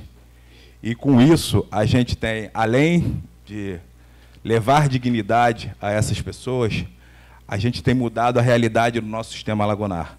Porque a condição dessa, dessa operação é que sejam imóveis que contribuem diretamente para o nosso sistema lagunar. Hoje nós estamos na fase que já, vou até pegar uns dados aqui, já passamos de 180 casas ligados e está lá dentro do Jacaré, que é o maior contribuinte da Lagoa de Piratininga. Com essas ligações, deixa eu só pegar aqui os dados, nós já começamos a coletar de forma correta e, com isso, evitar o descarte regular no nosso sistema lagunar de mais de 2 milhões e 300 mil litros de esgoto bruto por mês. Estamos nessa fase de junho, agora, julho, acabando num projeto para fazer a conexão através de troncos coletores também no Jacaré, onde vai atuar ali, vai atingir mais 138 residências. E o estudo que a gente tem feito é que, ao fim dessa primeira fase desse programa, que a gente tem muito orgulho e a gente quer continuar ampliando, a gente vai deixar de descartar irregularmente no nosso sistema de Laguna mais de 8 milhões de litros de esgoto bruto por mês. E aí a gente pretende realmente, juntamente com outros projetos, com outras intervenções que eu vou falar daqui a pouco, mudar realmente a qualidade do nosso sistema lagunar. Pode passar, por favor. Esse é o mapa da relação lá do Jacaré, né? que foi feito também o saneamento ambiental das comunidades, Vale Verde, Cabrito, Coqueiro, Boa Esperança. Pode passar, por gentileza. E aí é um, a gente trata aqui requalificação urbana e ambiental da comunidade da ciclovia. Para a gente de Niterói, o nosso famoso POP, né, o Parque Orla lá, Piratininga. E aqui é, é uma área que também coaduna muito com a questão da habitação, planejamento e proteção ambiental. É. A comunidade da ciclovia, está ali só a título, é a maior, mais populosa em torno da lagoa, com 1.240 imóveis. E no início, quando esse projeto foi posto, né, a população, é, oposição e pessoas que não acreditam, pessoas do quanto pior melhor, é, insinuavam que, na verdade, esse projeto é, ele visava a qualificação do local para posterior especulação imobiliária, afastar, tirar a população local, que é mais vulnerável, para poder fazer a especulação imobiliária. E aí o tempo e as ações foram mostrando que as pessoas estavam enganadas. Tanto, Zé, não sei como é que está lá a fase, a gente está fazendo a regularização fundiária desses moradores, dando a posse, dando a propriedade para esses moradores que nunca tiveram. E ali na lagoa é, de Piratininga, não sei se todos possam conhecer, ela tem um, um, um fato arquitetônico, Renato, não sei, em que todos os lugares que a gente vai, onde tem qualquer fio d'água, uma lagoa, um mar ou um verde, as casas costumam ser construídas de frente. E a lagoa de Piratininga, por ter sido abandonada por décadas e décadas, se tornou um grande esgoto a céu aberto. E aí eu reafirmo aqui, com orgulho de fazer parte dessa última década do governo de Niterói, mudando a cara. Então, hoje você vai na Lagoa de Piratininga, você vê casas de costas para a lagoa. É algo inimaginável onde a gente vai, em qualquer lugar do país e do mundo, essa concepção. E aí, né, vamos lá. É, esse, o pop que a gente fala, pode passar, por como é que tá? Aí, só para vocês verem assim, ilustrando, é, hoje é o maior investimento projetos ambientais é, sendo executados no Brasil, maior projeto de soluções baseadas na natureza, que antes da sua concepção já recebia prêmios e continua recebendo recentemente. É, Simone, eu estou vendo aqui, estava lá junto com o nosso prefeito, recebeu o prêmio da Cidades Sustentáveis como o melhor projeto ambiental do Brasil. Foi inaugurado recentemente, o nosso deputado estava presente também, lá na inauguração do POP, e vem realmente transformando a vida das pessoas. Pode passar. E aí, esse é só mais um destaque do nosso decreto. É... Só para finalizar, que a gente faz menção que quando a gente regulariza a vida dessa pessoa, ele estando numa área de preservação permanente, uma área ambientalmente protegida, a verdade a gente tem a pretensão que ele se torne um agente ambiental, que essa pessoa tenha essa sensação de pertencimento e cuidado com a sua área. Obviamente nós temos que ter um planejamento, temos que ter um controle, um ordenamento. A gente não pode permitir que se construa de qualquer forma, se construa de qualquer jeito, em qualquer lugar. Então, você trazer esse morador que já se encontra ali por longo tempo, regularizá-lo e mostrar, através de uma educação ambiental, de uma conscientização, de que é imprescindível a compatibilização da moradia, o ambiente ambientalmente é, protegido, a sua preservação, a sustentabilidade. Então, isso, na verdade, quando a gente consegue curtir isso dentro dessas pessoas, a gente traz novos agentes para a gente. A gente traz uma população mais educada, uma população com essa sensação de pertencimento, onde pretende é, é, é, preservar, defender ali, sem ter que o poder público tomar conta de tudo. A gente não tem braço e não tem olho em tudo quanto é lugar. Então a gente precisa da ajuda da população para ser um grande aliado é, é, do poder público. E aí, só para finalizar, né, é, eu acho que todos estão aqui, saem de casa todos os dias, têm suas motivações. E a minha, que eu costumo dizer para a nossa equipe lá, é realmente impactar na vida das pessoas.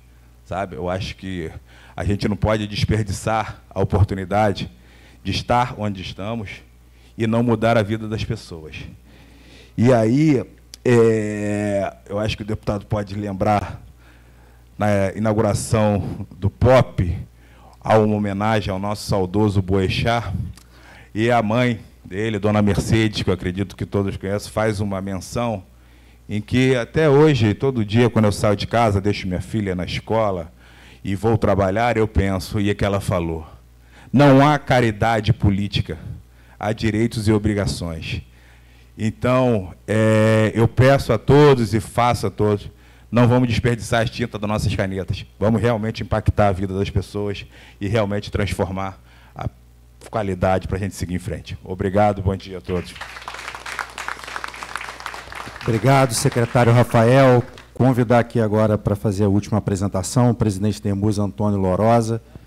E, Rafael, esse é o espírito mesmo. A gente está tendo aqui a oportunidade de, de, de, ver a apresentação das quatro principais secretarias da cidade de Niterói, óbvio que é das quatro principais específicas em relação ao tema que a gente está discutindo aqui hoje, mostrando que cada uma delas tem a sua estratégia, o seu plano de voo voltado para as suas atribuições, que seja o meio ambiente, que seja habitação, é, urbanismo, e agora a gente vai ver a apresentação da EMUSA, mas todos, é, todas as secretarias têm um plano de voo governando a cidade para todos, mas com um olhar especial para aqueles que mais precisam, para aqueles que vivem em vulnerabilidade social.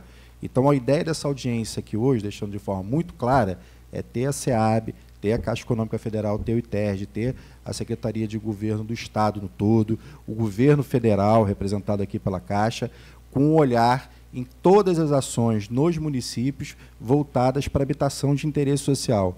É, é, esse é o ponto principal dessa audiência e o objetivo nosso no final desse trabalho vai ser nortear os municípios para que as secretarias possam entender, Antônio, a importância disso. Eu estou me recordando, há 15 anos atrás, quando eu assumi a Secretaria de Desenvolvimento Econômico, não existia política de regularização fundiária em Niterói. É, doutora Mariana, quem me, meu professor, doutor Walter Elísio, ele falou para mim, Vitor, esse é um tema frágil e que ninguém defende. A secretaria, hoje o Zé Carlos é, é secretário da Secretaria Municipal de Habitação e Regularização Fundiária, mas o secretário de Habitação na época não queria esse tema porque esse tema era problema. Então, como secretário de Desenvolvimento Econômico, nós criamos na época o NURF, que foi um núcleo de regularização fundiária. A Simone acompanhou esse período comigo lá, a montagem do NURF, junto com a Fernanda, junto com a Juliana Carneiro, a, a secretária de Habitação do Ministério, a Inês, a Inês é, nos ajudou muito nesse sentido. Eu quero aqui saudar a Priscila, que hoje é diretora de planejamento da Emusa. A Priscila era estagiária da Emusa, tá? No, ela, ela veio da fundação da Emusa como estagiária, foi fundamental dentro da equipe formada desse NURF e hoje a política de regularização fundiária se tornou prioridade e faz parte do, das metas principais da Secretaria Municipal de Habitação. Então, o objetivo dessa audiência aqui hoje é reunir os esforços para que a gente possa atuar muito forte nesse sentido. Eu queria aqui passar a palavra ao nosso grande amigo e presidente da EMUS, Antônio Lorosa. É, bom dia, mesa. Bom dia a todos que nos assistem presencial e, e por vídeo. Eu vou fazer uma explanação aqui muito rápida, tá? Das obras que, de comunidade, tá? É, as executadas, em execução e os programas que a gente tem para esse ano, projetos de mais quatro é, comunidades.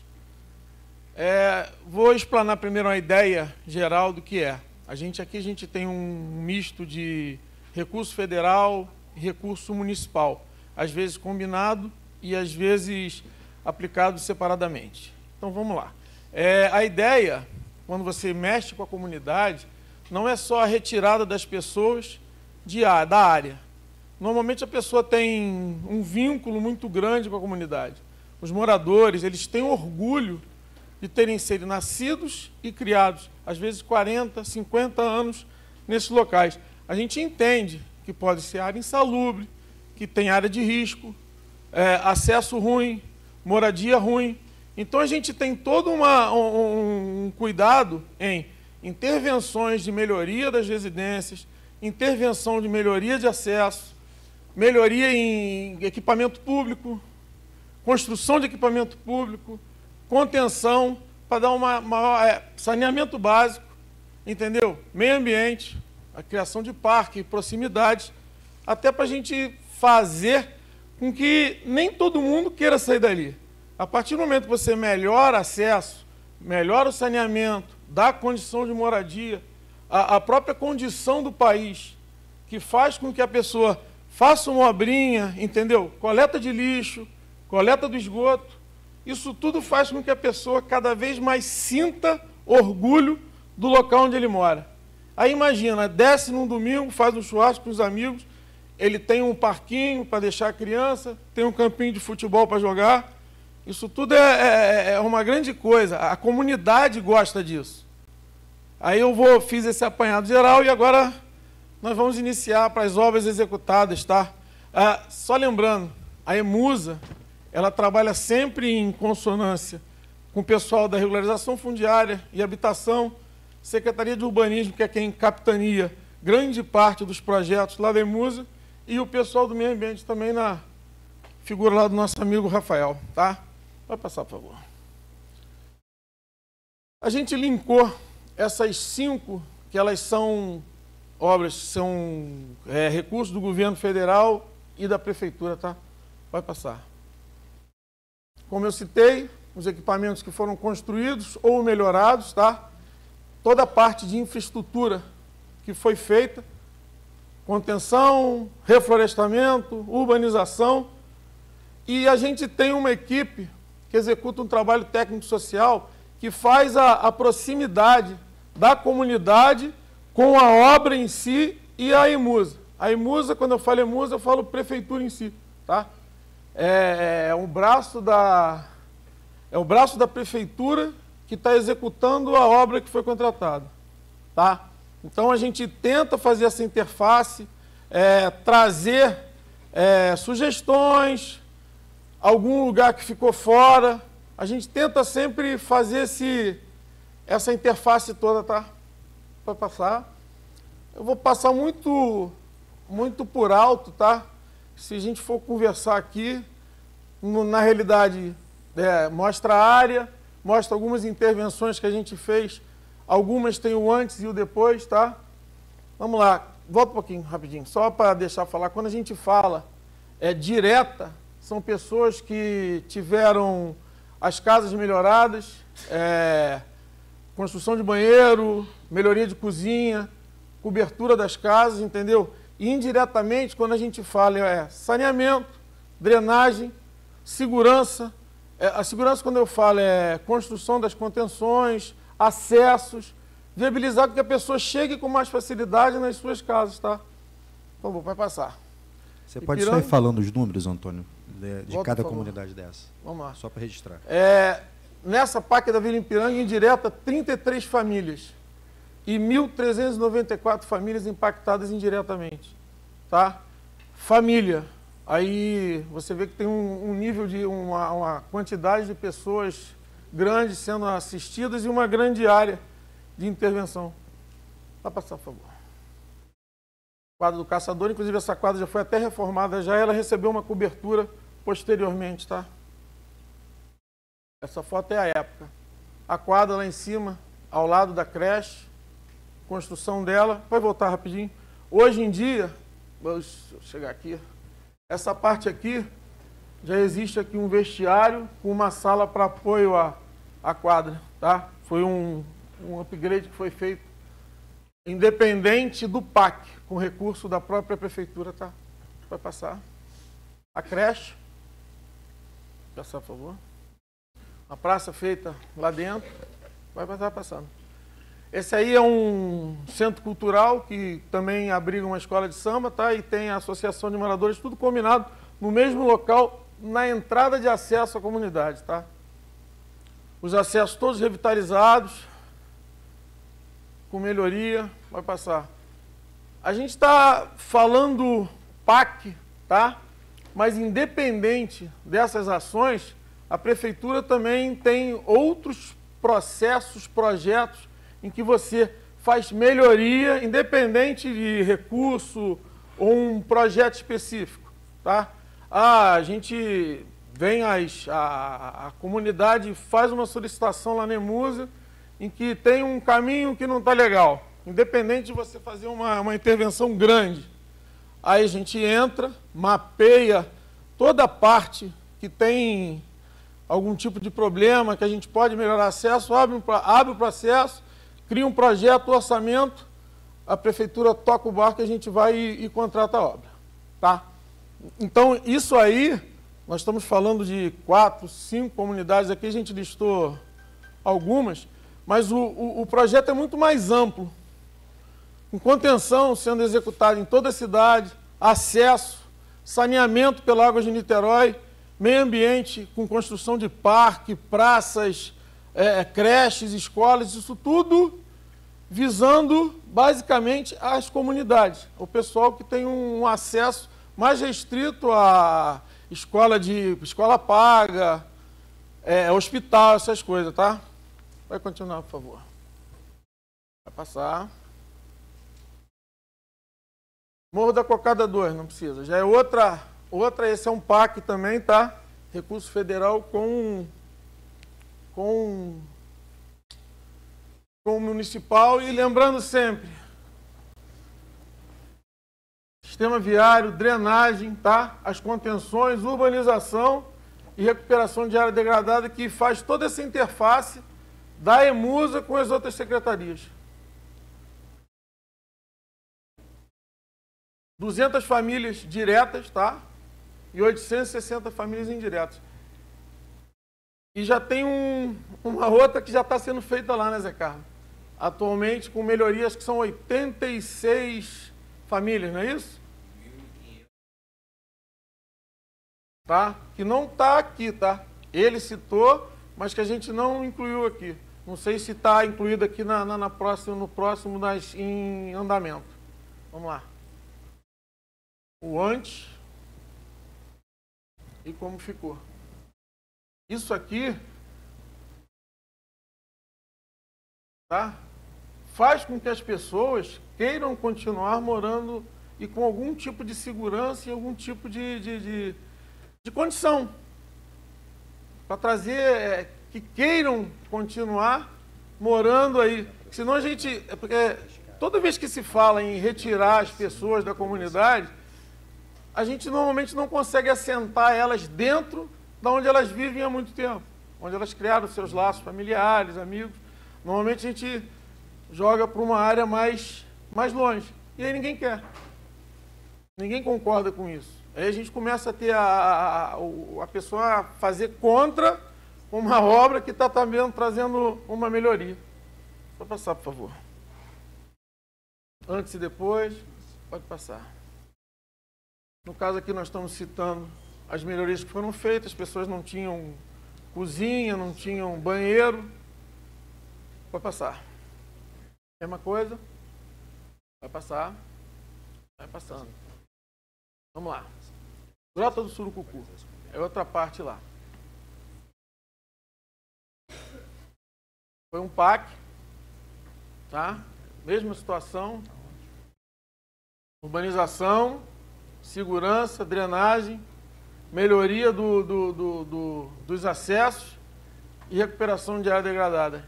E sempre a gente tendo a, a, a interface com a comunidade, a conversa e o apoio do serviço social, assistente social, em, é, concluído pelo trabalho técnico social da, da, da EMUSA, tá? Pode passar, por favor. Tá? Pode passar. O antes e depois dos acessos.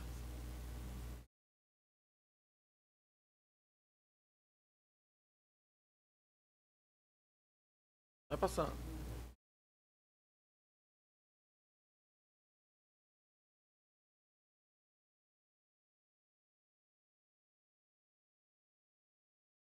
Capim melado, mesma situação, tá? Vai passar. Só frisar a quantidade de famílias que foram, que foram diretamente ou indiretamente beneficiadas. Quantas famílias foram? 86 no capim melado e 590 indireta. 86 direta e 590 indireta. Vai passar.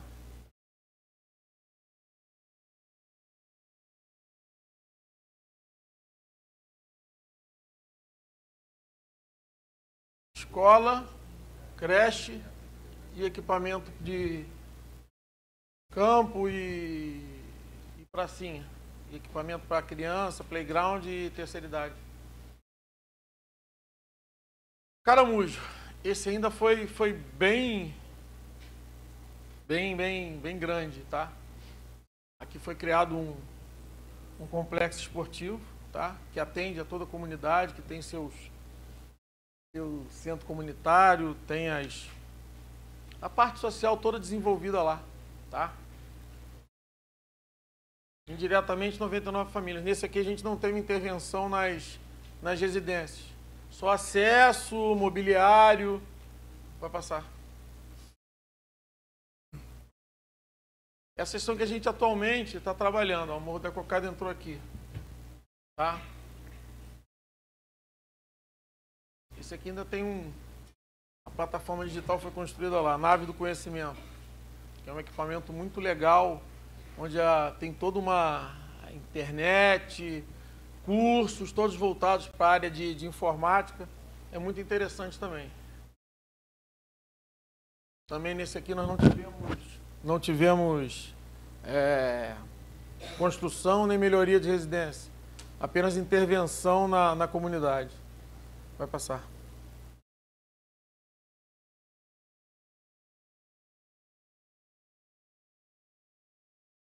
E essas as que foram elencadas pelo prefeito para que a gente inicie ainda esse ano. Nós já estamos com. Acho que as.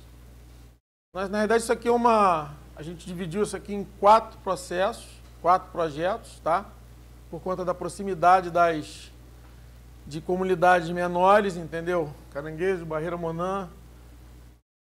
E aí a gente fez uma combinação para poder conseguir criar um lastro, né? Para poder entrar e realmente fazer, ao invés de você picotear tudo, você criou quatro grandes é, projetos para serem, serem executados. A ideia é que até o fim do ano a gente esteja iniciando, pelo menos iniciando essas obras aí, tá? Vai passar, por favor. Aqui na realidade é só o perímetro né, da comunidade em si. A ideia, o que a gente vai fazer intervenção de infraestrutura, saneamento básico, sempre apoiado pela, pela, pela concessionária Água de Niterói, tá? Pode passar. Aqui a gente não tem nada é realizado ainda. Aqui é só a realizar, tá? 924 famílias é, que vão ser impactadas indiretamente, tá? Vai passar. A ideia, a melhoria do campo, já existe um campo, ser revitalizado ele todo. É, como é que é o ponto de encontro da comunidade? Uma pracinha. Hoje ela é assim. A ideia é que se crie outro ponto também para você poder levar criança. Vai passar. Pode passar. A ideia das pequenas comunidades num ponto, sendo o Largo da Batalha. Pode passar. Pode passar. Onde hoje é uma área solta, usada como estacionamento, vai passar a virar uma área de lazer na entrada da comunidade. Vai passar a torre, pode passar. Pode passar. Vai passando. O pessoal vai, vai só olhando. Barreira, mesma situação. O campinho, volta lá. A ideia, o campinho como hoje ele é, e a ideia de deixar uma infraestrutura para poder o pessoal fazer um churrasco, tomar um banho depois do futebol. Outro ponto de para a comunidade poder se encontrar. Monã,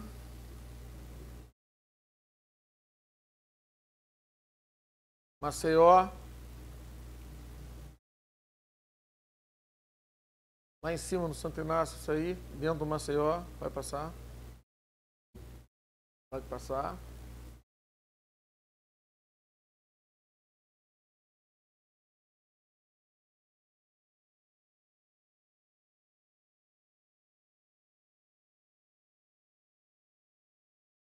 Volta só uma coisa aqui. Eu gosto que o, o fala de você utilizar áreas que estão soltas, a criação de uma praça com muito verde. Pode passar. Pode passar. Vai. Souza Soares. Souza Soares é do outro lado da onde a gente fez lá no Viradouro, que já tem uma consolidada, tem ideia de se criar outra e ainda estender para o outro lado da, da, da, pista. Vamos falar assim, tem uma rua que pode passar. Que corta as duas comunidades. Pode passar.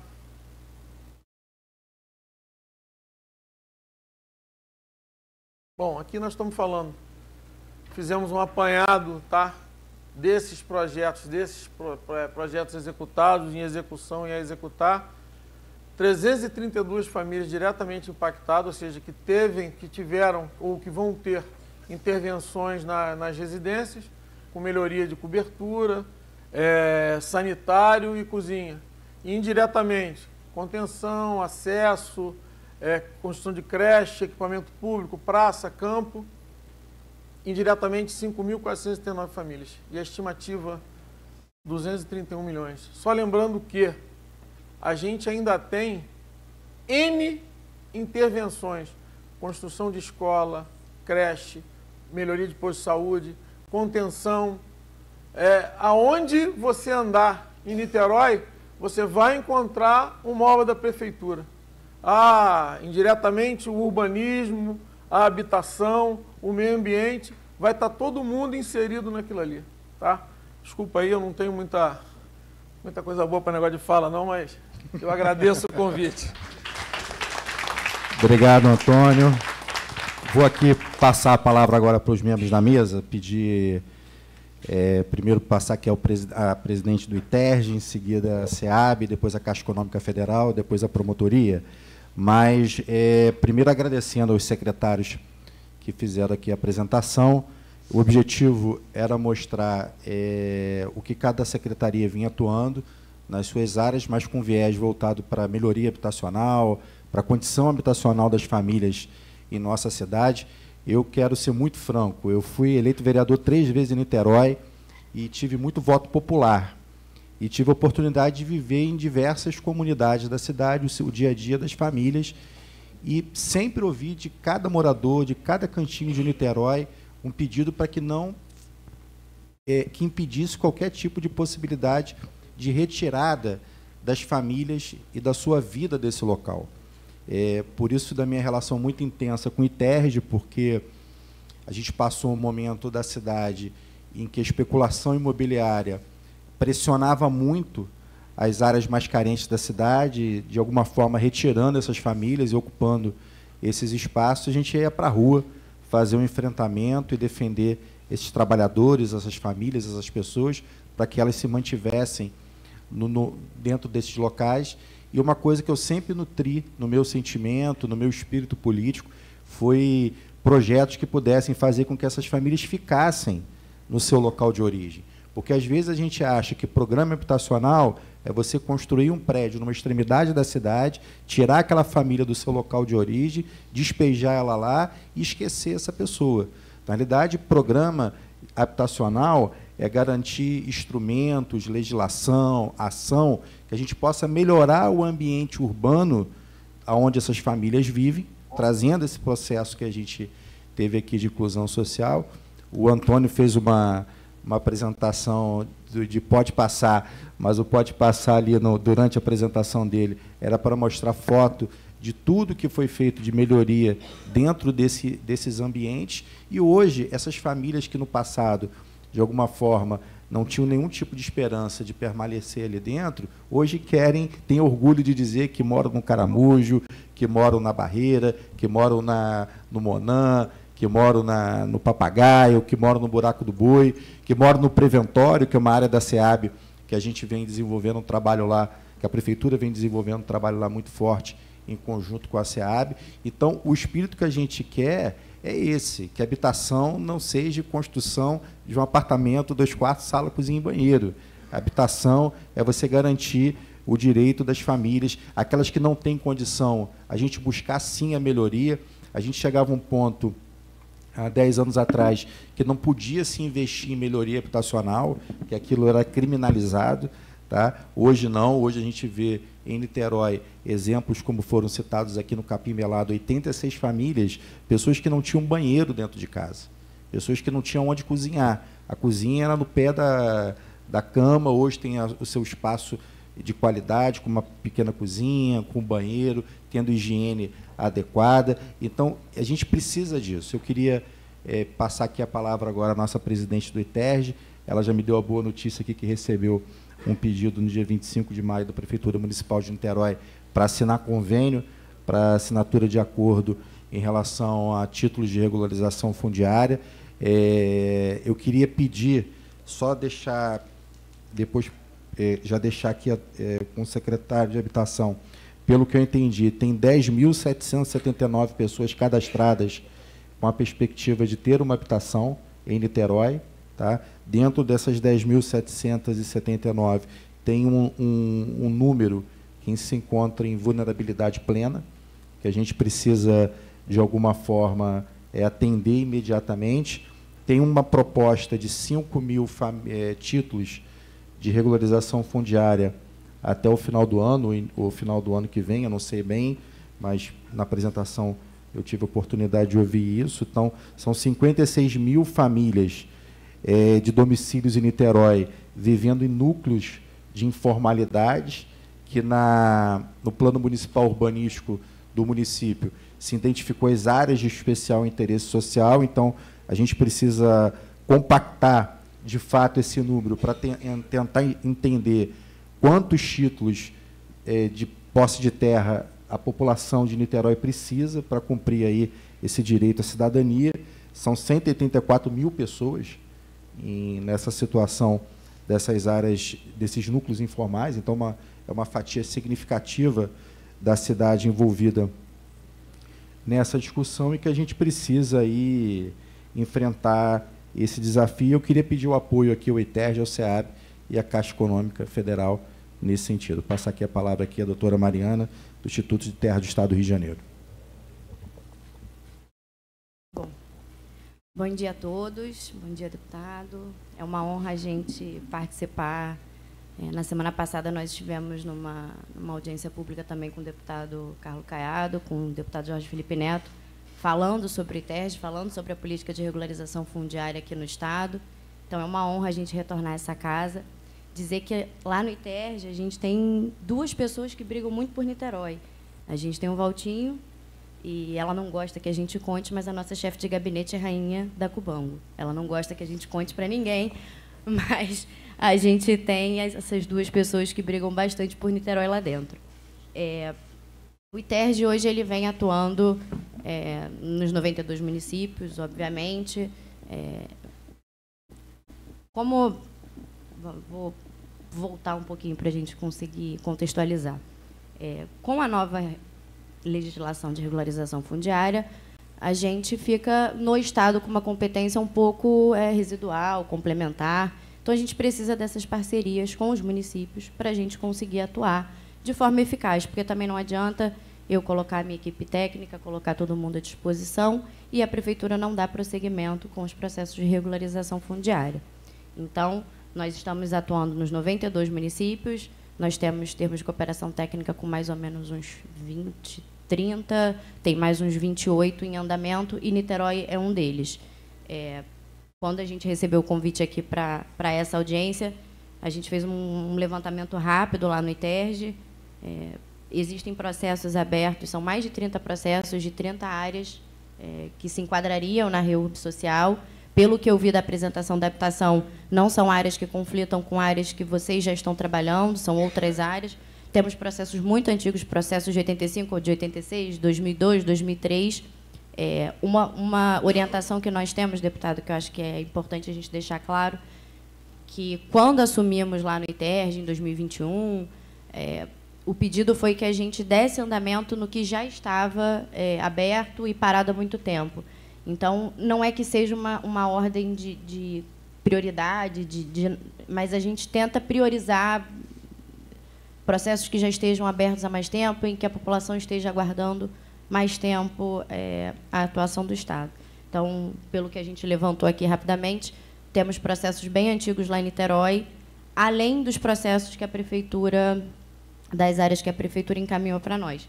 A prefeitura encaminhou uma, duas, três, quatro, cinco regiões, um, dois, três, quatro, cinco, seis, um, mais ou menos umas dez áreas para a gente atuar no termo de cooperação técnica.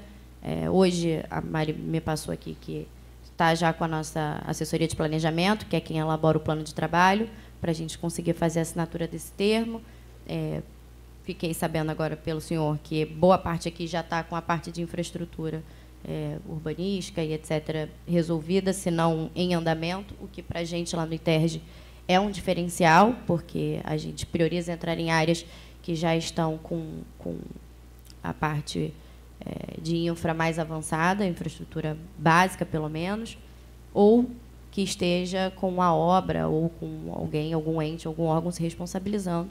Porque o ITERJ, apesar de fazer pequenas intervenções, a gente não é é, responsável por fazer essa, essa, esse projeto de infraestrutura macro. Então, é, os próximos passos, eu acredito, aqui para Niterói, é o pessoal do nosso planejamento, e a bola está com a gente agora, é, finalizar o plano de trabalho, e aí a gente reunir de novo com a prefeitura, ver se, se eles estão de acordo, marcar visitas nessas áreas específicas. A gente precisa que os nossos técnicos acompanhem e vão nas áreas para certificar, fazer o nosso relatório de vistoria técnica.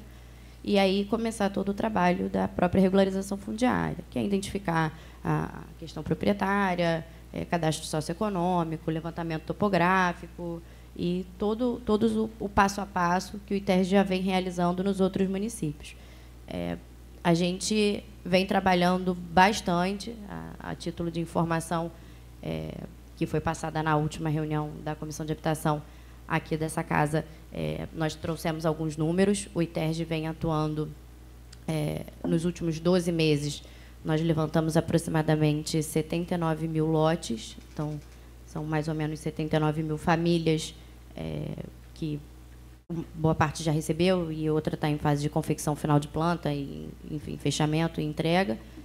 E temos um planejamento de entrega, né, de, de, de levantamento de mais, para os próximos 12 meses, de mais 40 mil. Então, a gente tem aí, para os próximos três anos, planejado pelo governo do Estado, mais ou menos 132 mil famílias atendidas no programa de regularização fundiária do Estado.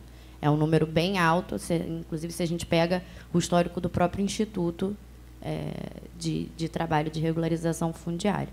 Hoje, a nossa atuação é em parceria com os municípios, nos municípios em que a gente encontra como Niterói, a gente consegue perceber uma organização, uma secretaria voltada para regularização fundiária, o nosso trabalho flui muito bem, mas nós temos municípios que não têm é, essa organização, essa, essa capacidade de, de, de tratar a regularização fundiária como um assunto tão importante que é.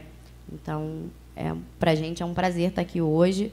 É, eu tenho certeza que isso aqui, em breve, vai, a gente vai estar publicando esse termo de cooperação técnica. É, colocar à disposição, inclusive disponibilizar os outros processos que tem abertos no ITERJ. Eu não sei se a Prefeitura tem ciência desses outros, se tiver mais algum de interesse, para a gente poder aproveitar. Mas também não tem impedimento nenhum a gente assinar e depois aditivar e colocar a nossa equipe à disposição. Obrigado, doutora Mariana.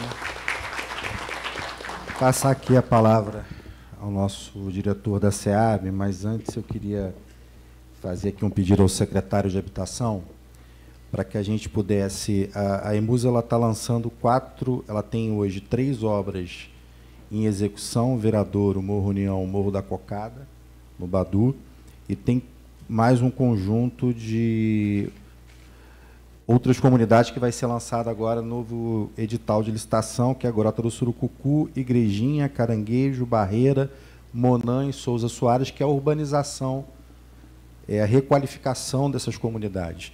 Eu queria fazer uma proposta ao secretário de, de Habitação, que a gente pudesse assinar um convênio com o ITERG, com a SEAB, com a Caixa, no sentido de promover uma ação de regularização fundiária nessas áreas.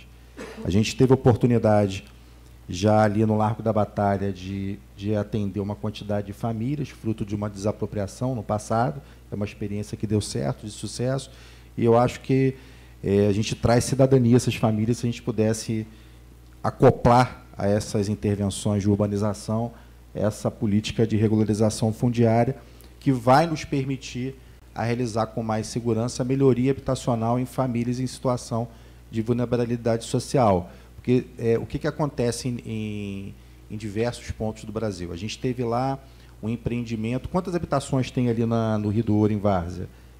Naquele conjunto da Caixa ali? Daquele, do Minha Casa Minha Vida que foi feita? São 200. Dessas 200 habitações construídas na época, e as famílias estavam na fila de espera, só esperando a unidade ficar pronta para receber as chaves, pouco antes das unidades ficarem prontas, nós tivemos a tragédia do Bumba em Niterói. Então foi retirada famílias do Bumba, entraram, furaram a fila, entre aspas, óbvio, todo mundo exige, foi uma comoção nacional naquele momento, e, com isso, ocupar as unidades habitacionais. E hoje o que a gente percebe é, no Brasil é que essas unidades acabam sendo ocupadas por pessoas que saem de tragédias e aí fica aquela comoção, a pressão, e quem está na fila perde a fila e aí a gente perde com isso a organização de trabalho. Então, quando a gente investe em regularização fundiária, melhoria habitacional e requalificação nessas comunidades, a gente garante com que as famílias fiquem ali em segurança. Por isso que em Niterói, ao longo desses últimos anos, com todas as intervenções em contenção de encostas e urbanização em comunidade, nós tivemos uma queda total do número de pessoas que vieram a óbito em comunidades de área de risco no nosso município. Então, por isso eu queria reforçar aqui esse convênio, a aceleração desse convênio o mais rápido possível entre TERG, SEAB, Caixa e Prefeitura de Niterói. Passar aqui a palavra agora ao nosso diretor da, da SEAB, por favor, e registrar aqui a presença do, também do promotor Leonardo Cunha, também, que está participando nessa nossa audiência por Zoom. Por favor. Eu gostaria de, em nome da SEAB, em nome do presidente da SEAB, doutor Reginaldo Jardim, cumprimentar todos os componentes da mesa, cumprimentar todos os presentes e agradecer primeiramente ao deputado Vitor Júnior pela uh, iniciativa e pela possibilidade de estarmos aqui discutindo, conversando sobre habitação no, no, estado do Rio de Janeiro, especificamente na prefeitura de Niterói. é, estarmos conversando sobre a reurbanização, a reutilização dos espaços urbanos, a reorganização desses espaços. É um assunto que nos toca profundamente como gestor público, nos toca profundamente como diretor da SEAB. Tem sido uma preocupação da SEAB dar uh, encaminhamento a todos esses assuntos. Então, muito obrigado, deputado, pela oportunidade de podermos estar aqui conversando, discutindo sobre esse assunto. Eu queria especialmente agradecer aos colaboradores, servidores lá da SEAB que estão presentes aqui, o Fred, a Carmen, a Rosane. Muito obrigado pela presença de vocês aqui. A SEAB tem um corpo técnico, deputado, uh, extremamente qualificado. Uh, quando cheguei na SEAB, fiquei uh, positivamente surpreendido com a qualidade do corpo técnico que encontrei lá. Eles realmente são muito competentes e querem trabalhar, querem fazer pelo Estado do Rio de Janeiro, assim como o secretário Rafael uh, disse na sua fala é, eles têm a, a, exata noção de que o lugar que eles ocupam, ocupam para fazer bem para outras pessoas, para melhorar a vida das pessoas, para dar qualidade de vida, uh, para fazer com que a vida dos habitantes do estado do Rio de Janeiro melhore. Essa é a consciência que eu senti em todos os colaboradores da SEAB quando ali cheguei. Uh, em relação a Niterói, uh, eu estive junto com a Rosane lá em Niterói, conversei com o secretário, uh, Zé Carlos e toda a sua equipe, estivemos lá com a Heloísa também, eh, conversamos lá e, e fomos ah, propor uma parceria para que resolvêssemos a regularização fundiária de alguns conjuntos habitacionais, Benjamin Constant 1 e 2 e Saldanha da Gama, que são uma preocupação nossa da SEAB e a gente percebeu que a gente poderia, com uma simples contribuição da prefeitura, uh, resolver aqueles aquela, aqueles títulos de propriedade daqueles moradores dali. E saímos de lá com uma demanda muito maior, mas que a gente está, através da, da, da, nossa outra diretoria de operações imobiliárias, a gente está fazendo um esforço conjunto para que a gente consiga realmente favorecer e dar o título de propriedade para um monte de gente lá. Gente que, que Vila Ipiranga, lá do Preventório, lá do Aterrado São Lourenço, o total serão aproximadamente 3.500 a 4.000 famílias beneficiadas quando a gente conseguir, uh, através desse, desses convênios, através desses acordos, através dessas cooperações técnicas e através do esforço coletivo, todo mundo agindo na mesma direção. A gente tem certeza que a gente vai conseguir o máximo que é possível de família beneficiada e se a gente conseguir tudo, a gente vai ter em torno de 4 mil famílias beneficiadas, 4 mil famílias que terão a sua garantia de ter um título de propriedade, 4 mil famílias que estarão tendo a garantia de que elas estarão morando no lugar onde elas vivem e sempre viveram. Então, a SEAB está à disposição, a SEAB quer muito participar desse processo em Niterói. Secretário, se o senhor puder, secretário José Carlos e, a equipe, se o senhor puder, na segunda-feira a gente consegue fazer uma agenda com o presidente da SEAB para conversar, para conversar sobre os assuntos uh, referentes a Niterói. A SEAB, está, a SEAB tem, tem atuado também ativamente para a redução do déficit habitacional no estado do Rio de Janeiro e a SEAB quer contribuir com o Niterói para a redução desse déficit também em Niterói.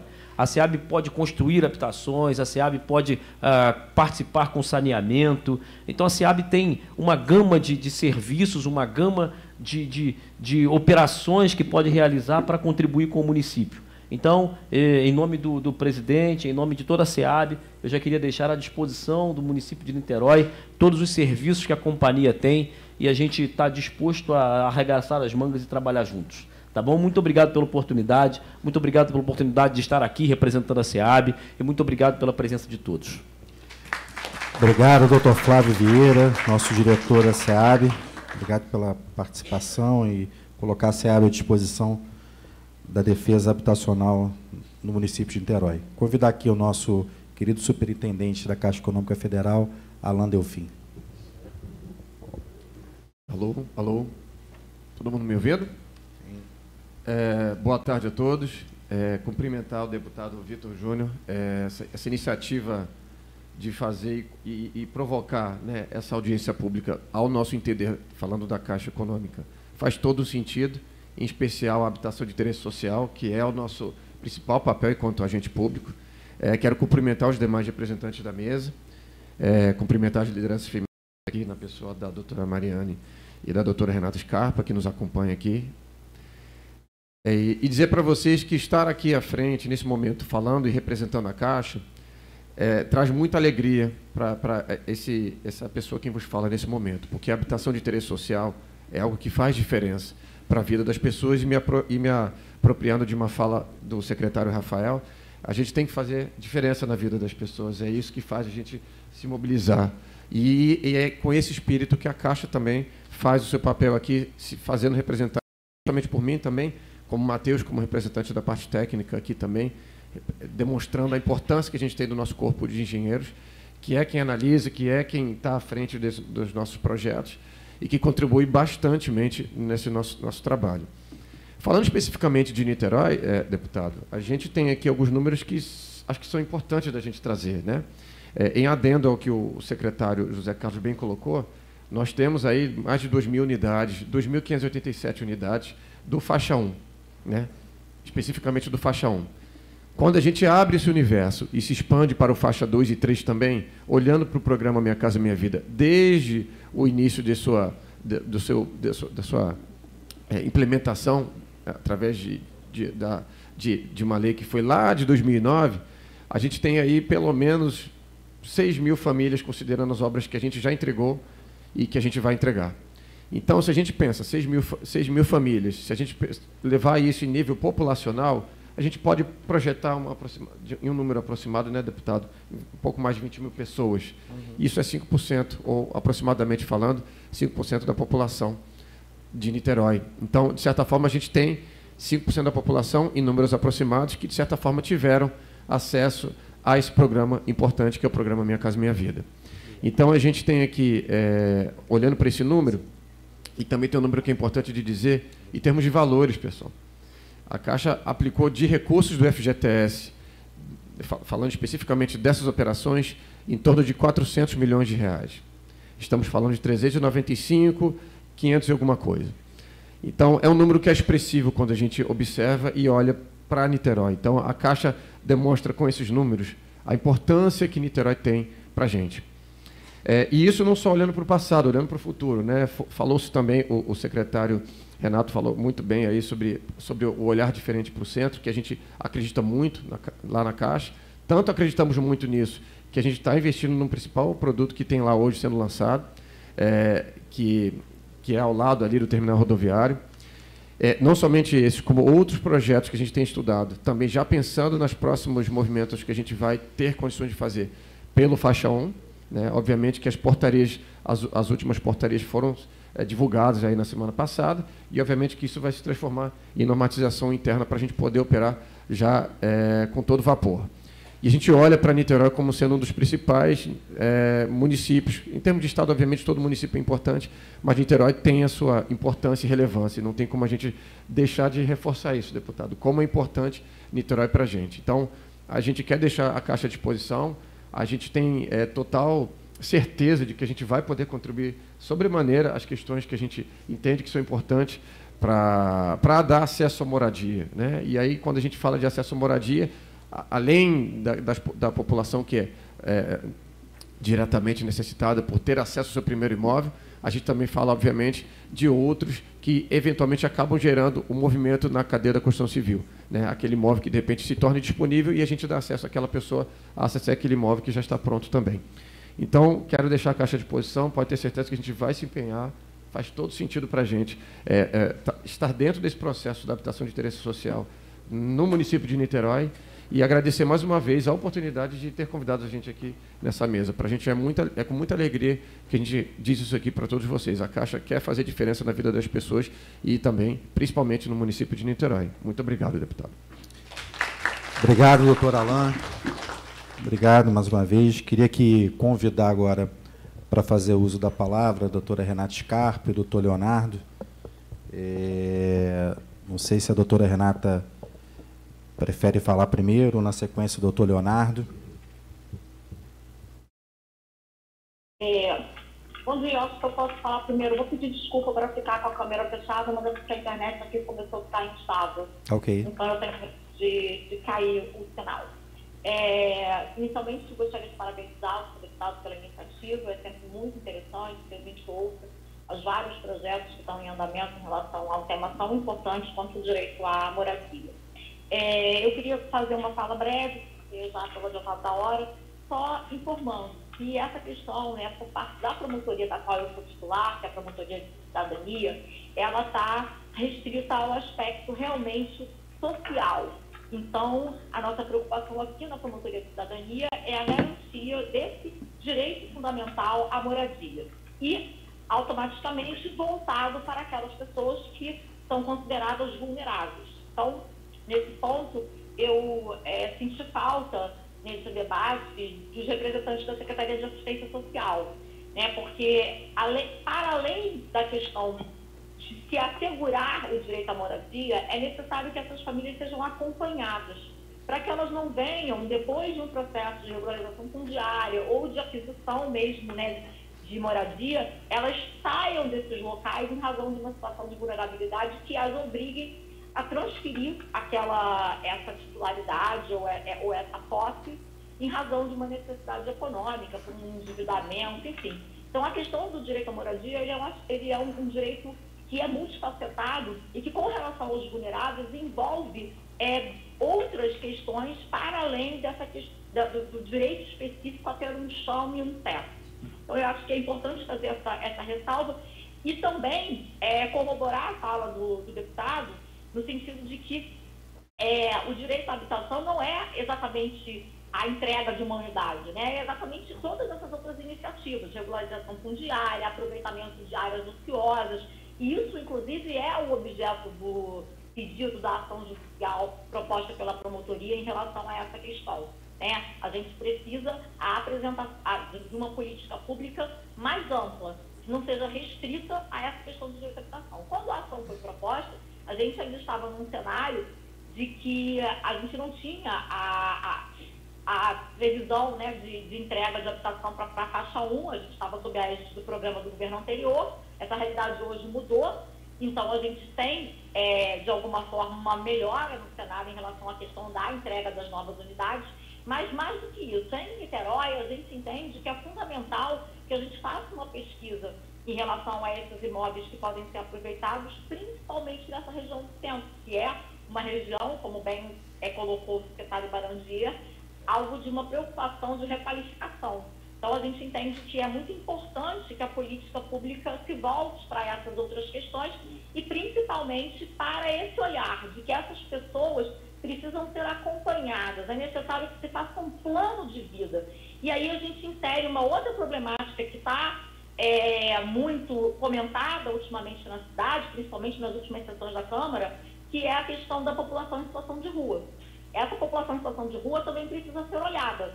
E elas também, é, essas pessoas também precisam de uma alternativa de moradia. E aí a gente vai ter outras ideias, né? Como a gente tem já na cidade do Rio de Janeiro uma, uma experiência do House First, que é exatamente dar uma residência primeiro para essas pessoas e junto a isso todo um programa de assistência e acompanhamento. Então, é complexo. É, não por acaso, a promotoria também tem um procedimento acompanhando aí o projeto né, da nova legislação urbanística e que a gente defende que esse projeto de lei ele tenha inserido nele uma especificação maior em relação a essa questão da ocupação das áreas de interesse social, inclusive com é, dispositivos que impeçam a especulação imobiliária, porque, aproveitando a fala do secretário de Meio Ambiente, a gente tem uma preocupação realmente muito grande que essa requalificação né, do, do da orla lá da Lagoa possa, a, a longo prazo, trazer uma, uma, um prejuízo a essas pessoas, exatamente porque se elas se encontrarem numa situação de vulnerabilidade, elas acabarem é, transferindo e saindo dali e entregando as suas propriedades para um capital especulativo. Então, a gente acha importante que isso seja mais discutido que seja mais é, é, pensada essa questão da proteção a essa parcela da população é, é, mais vulnerável. Porque a gente sabe que Niterói é uma cidade que tem um bom padrão, mas ela tem uma desigualdade social muito grande. A gente tem uma parcela da população que é pequena em relação aos outros grandes centros, mas essa população é uma população que precisa de muita ajuda, né? Também pegando é, o viés aí colocado pelo é, secretário José Carlos em relação a, aos projetos dos marisqueiros lá de Jurujuba, a gente tem a situação dos marisqueiros da Boa Viagem, que hoje é bastante delicada, e até o, o secretário Rafael já conversou comigo essa semana, a gente está estudando é, uma solução para eles, mas eles também têm uma situação de vulnerabilidade, eles precisam de uma solução, até porque a gente está com o museu céu aberto para ser inaugurado. Então, é, tudo isso necessita realmente de um olhar multidisciplinar e que foi muito interessante essa primeira iniciativa do deputado Vitor Júnior, que eu mais uma vez parabenizo, e espero que a gente consiga ter outros espaços de discussão. Muito obrigada e boa tarde. Obrigado, doutora Renata. Só para registrar que o secretário de Assistência Social está é, tendo um, um, encontro agora em Niterói, que é a ampliação da moeda social, e acabou que foi marcado no mesmo horário da nossa audiência. E aí o secretário pediu, justificou a ausência dele na nossa audiência hoje, apesar da gente ter representante aqui da Secretaria de Assistência presente, mas ele está acompanhando esse trabalho e óbvio que a gente tem também uma preocupação muito grande de ter a equipe da Secretaria de Assistência Social acompanhando de, de perto as ações do, do direito à habitação no município. Eu acho que a fala da senhora ela é importante para ratificar essa unidade criada aqui hoje. Eu quero aqui, mais uma vez, é, reafirmar o nosso desejo de estabelecer metas é, para a construção de habitação popular na cidade, para a recuperação e requalificação dessas comunidades, preservando o direito dessas famílias, e que a gente possa, secretário Zé Carlos, de repente estar tá assinando aí um grande acordo, é, estabelecendo um número de títulos de propriedade de terra que a gente possa entregar no município de Niterói, porque esse é o, esse é o sonho de todos e está na mão do, da Secretaria de Habitação o processo de condução dessa tarefa, junto com o ITERG, junto com a SEAB, junto com a Caixa Econômica Federal. Então, queria que a gente pudesse promover aqui um próximo evento muito em breve, eu vou já encaminhar isso ao prefeito da cidade, para que a gente possa assinar esse grande acordo. Passar aqui a palavra agora ao doutor Leonardo, promotor de tutela coletiva do município de Niterói também, registrar aqui a presença do deputado José Felipe Neto, membro também da Comissão de Habitação dessa casa. Convidar o deputado também para fazer parte aqui da mesa. Uh, boa tarde, é, senhor presidente, Vitor Júnior. Eu vou pedir licença também para manter minha câmera desligada. No meio da fala da minha colega, a, a minha rede do, do computador caiu.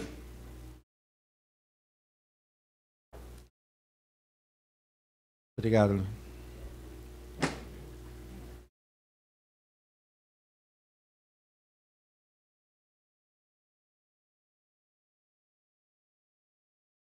com a câmera desligada. Agradeço, agradeço imensamente o convite. É, por outras questões relativas ao Ministério Público, é uma outra urgência, dessas urgências todas que surgem todos os dias, eu não pude acompanhar o começo das sessões, mas louvo a iniciativa de avançar no processo, nos processos em geral de regularização fundiária, até porque ele é profundamente um processo de, de distribuição de justiça social, na medida em que você dá a essas populações é, um título de propriedade, esse título que gera é, é, possibilidade de realização de inúmeros negócios. Inclusive até mesmo empréstimos bancários e, e é, é, é, baseados, baseados com garantia nesses imóveis e tudo isso que a, que, que a economia muito bem fala. Mas no que diz respeito à tutela coletiva do meio ambiente, apenas fazer alguns alertas, ou algumas não alertas, quem sou eu para dar alertas, mas algumas considerações para a colaboração nesse processo. A gente está tratando na cidade de Niterói, é uma cidade que tem áreas ambientais é, profundamente sensíveis e a regularização fundiária, quando ela se dá em áreas ambientalmente sensíveis, apresenta muitas vezes riscos adicionais quando se trata de processos de gentrificação. É importante, é crucial considerar cuidadosamente a preservação ambiental ao implementar processos de regularização fundiária em regiões ambientalmente sensíveis. Regularização fundiária, perdão, nessa, nessas áreas ela tem um enorme potencial de aumentar o interesse de investidores e de faixas com maior poder aquisitivo para se apropriarem dessas terras, expulsando comunidades locais inclusive comunidades tradicionais que têm seu valor cultural, histórico-cultural por si só, é, dessas áreas que historicamente ocupavam. Então, gentrificação em áreas uh, ambientalmente sensíveis, processo de gentrificação por si só é danoso, aquela quando se dá em processos ambientalmente sensíveis, é, pode, se, pode levar a incremento de processos de desmatamento, de degradação de ecossistemas e perda de hábitat é, para espécies nativas. Isso sem, sem, sem nos esquecermos de, de risco de aumento de preço de terras, dificultando ainda mais o acesso dos moradores de baixa renda. Portanto, né, o, o, o, integrando a ideia de o processo, a ideia de um processo de regularização fundiária com um zoneamento adequado da cidade, estabelecendo é, corretamente as zonas de proteção ambiental, diretrizes claras para uso é, e ocupação do solo, que restringam, restringam desenvolvimento em áreas sensíveis e promovam a sustentabilidade, incluindo sempre a participação comunitária, incluindo comunidades locais nesse processo de tomada de decisões. E é justamente nesse sentido que está em processo na cidade de Niterói um grande diálogo para a construção coletiva de uma nova lei de uso e ocupação do solo, em que questões relativas à, à, à regularização fundiária devem ser levadas em consideração, questões relativas ao risco de gentrificação em áreas ambientalmente sensíveis devem ser levadas em consideração. O município de Niterói, apenas a título de exemplo, fez uma requalificação ambiental extremamente relevante, é, inaugurando no final de semana até mesmo com muita com muita festa, é, porque é para se comemorar a requalificação da área do Parque da Orla, de, da, da Orla mas justamente próximo a esse, essa área ambientalmente requalificada, há uma comunidade que, que é, é, em que um eventual processo de regularização, se não tomado com o devido cuidado, pode levar a uma gentrificação. Então, a regularização deve ser sustentável, promover incentivos econômicos, até os incentivos econômicos com pagamentos de serviços ambientais para manutenção dessa área e, lógico, a gente nunca pode esquecer do correto monitoramento e a fiscalização eficazes para garantir o cumprimento dessas regularizações, regulamentações ambientais e evitar o uso inadequado das terras regularizadas. No mais, diz o Ministério Público, pela Promotoria de Tutela Coletiva do Meio Ambiente e Urbanismo, que está aqui à disposição dos órgãos públicos para sempre dialogar, sempre sentar-se à mesa para que a gente consiga entregar para quem, quem nos paga os nossos salários, que é a sociedade, o serviço adequado. Muito obrigado, presidente. Louvo mais uma vez a iniciativa e espero que a partir desta venham muito, muitas outras grandes e boas iniciativas. Muito obrigado. E, e, e minha conexão Wi-Fi não voltou, motivo pelo qual não consegui ligar a câmera antes. Mas nos veremos pessoalmente, com certeza. Um grande abraço. Obrigado, doutor Leonardo. Mais uma vez, agradecer ao Ministério Público, na figura do doutor Leonardo, na figura da doutora Renata Scarpa. Eu vou. A gente tinha um teto aqui da audiência de meio-dia e meia, mas eu queria pedir permissão à mesa para que o secretário, pedir permissão Rafael, pedir permissão Antônio, para que o secretário de Urbanismo e o secretário de Habitação possam fazer uma consideração final. Se o Rafael quiser fazer alguma fala, está à disposição, o Antônio também, mas só para que eles façam uma consideração final. Essa comissão vai apresentar, vai produzir um relatório, fruto de todas essas falas feitas aqui. Eu queria pedir às pessoas que estão participando da sessão que possam encaminhar através do nosso mandato, é, sugestões por e-mail, o que venha nos procurar pessoalmente, para que a gente possa anexar nas propostas colocadas à Prefeitura e, no final disso tudo, a gente elaborar é, um convênio entre todos esses órgãos envolvidos, para que a gente possa ter um plano de metas tá, relacionados à política de habitação de interesse social no município de Niterói. E a ideia é que essa experiência, dando certo, que eu acredito que vai dar, né, Valtinho? a gente pode promover é, uma cartilha de referência para todos os municípios do estado do Rio de Janeiro. E a gente possa, com isso, incentivar e colaborar com sugestões dessa Casa Legislativa. queria passar aqui a palavra ao Zé Carlos, em seguida ao secretário Renato Barandier, e a gente aqui, com isso, encerra a nossa Presidente, audiência pública. Presidente, eu gostaria só de fazer uso da palavra. Ah, sim. Oh, perdão, deputado. Tá perdão, eu queria Já passar a palavra aqui a meu amigo e irmão Jorge Felipe Neto, que eu quero agradecer muito a lealdade, o companheirismo de Vossa Excelência, porque chegou aí na ponta, acabou esquecendo, perdão.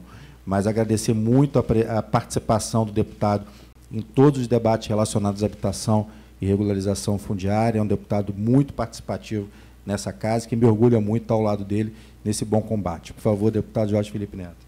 E, de presidente, desculpa aos secretários uh, ter cortado, furado a fila, ter chegado atrasado, mas só para fazer breves considerações, presidente, dessas colhendo a sessão, queria primeiro dizer do, da minha alegria de ver Vossa Excelência uh, conduzindo essa audiência. Acho que é fundamental a gente unir forças para esse tema que até meados de 2021 tinha sido abandonado, esquecido pelo Estado do, do Rio de Janeiro, e fazer o registro não só da dedicação, do empenho do governador Cláudio Castro, do secretário Uruan e também de toda a equipe do Instituto de Terras e Cartografia do Estado do Rio de Janeiro em fazer uh, o necessário para que essa política pública, primeiro, voltasse a ter credibilidade, segundo, que fosse verdadeiramente impulsionada diante da demanda existente no estado do Rio de Janeiro de mais de um milhão de unidades habitacionais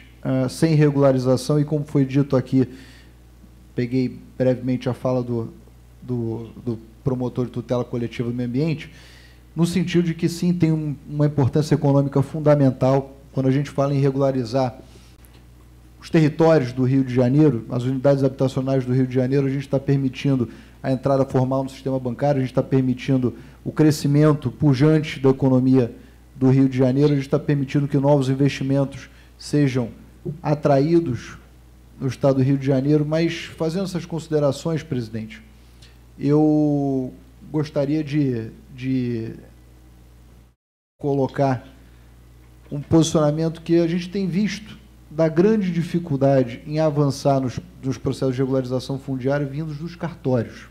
Por que isso? Evidentemente, a regularização fundiária de interesse social, ela não, pela 13465, ela não. Os cartórios não podem cobrar por ela, pelas certidões, pelos serviços cartoriais que seriam ah, por particulares cobrados não acostumados com a demanda, como muito bem foi dito ah, pela eminente diretora, no sentido de que havia uma média por ano de 5 mil a 8 mil títulos entregues por ano, ano passado foram 79 mil, os cartórios simplesmente emperraram, deputado Vitor Júnior, emperraram.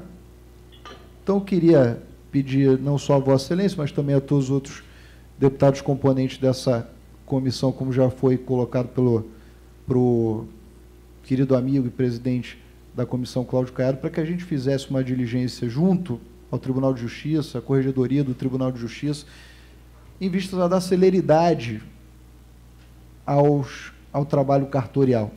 Porque justamente esse tem sido o grande entrave. O trabalho de campo é feito no mês uh, e se aguarda para terminar a planta da, da legitimação fundiária por meses e meses a porque quando se trata de grandes áreas, tem muitos confrontantes, muitas certidões a serem enviadas, e simplesmente o cartório envia uma por semana, uma por mês, sem nexo em absoluto, né, com relação à concentração de esforços num ou no outro processo, manda de um daqui, do outro da outra comunidade, aí fica algo de fato difícil da gente conseguir encaminhar pedir essa consideração a Vossa Excelência, também ao nobre promotor de justiça que nos ajude nessa contenda, nessa missão, e dizer a Vossa Excelência que Vossa Excelência muito bem representa o povo de Niterói, uma prefeitura que é vista por todos como uma prefeitura competente, diligente, dedicada à população da cidade de Niterói e que nosso mandato também está à disposição não só de Vossa Excelência como representante local, mas também de todos os cidadãos niteroenses. Muito obrigado, presidente.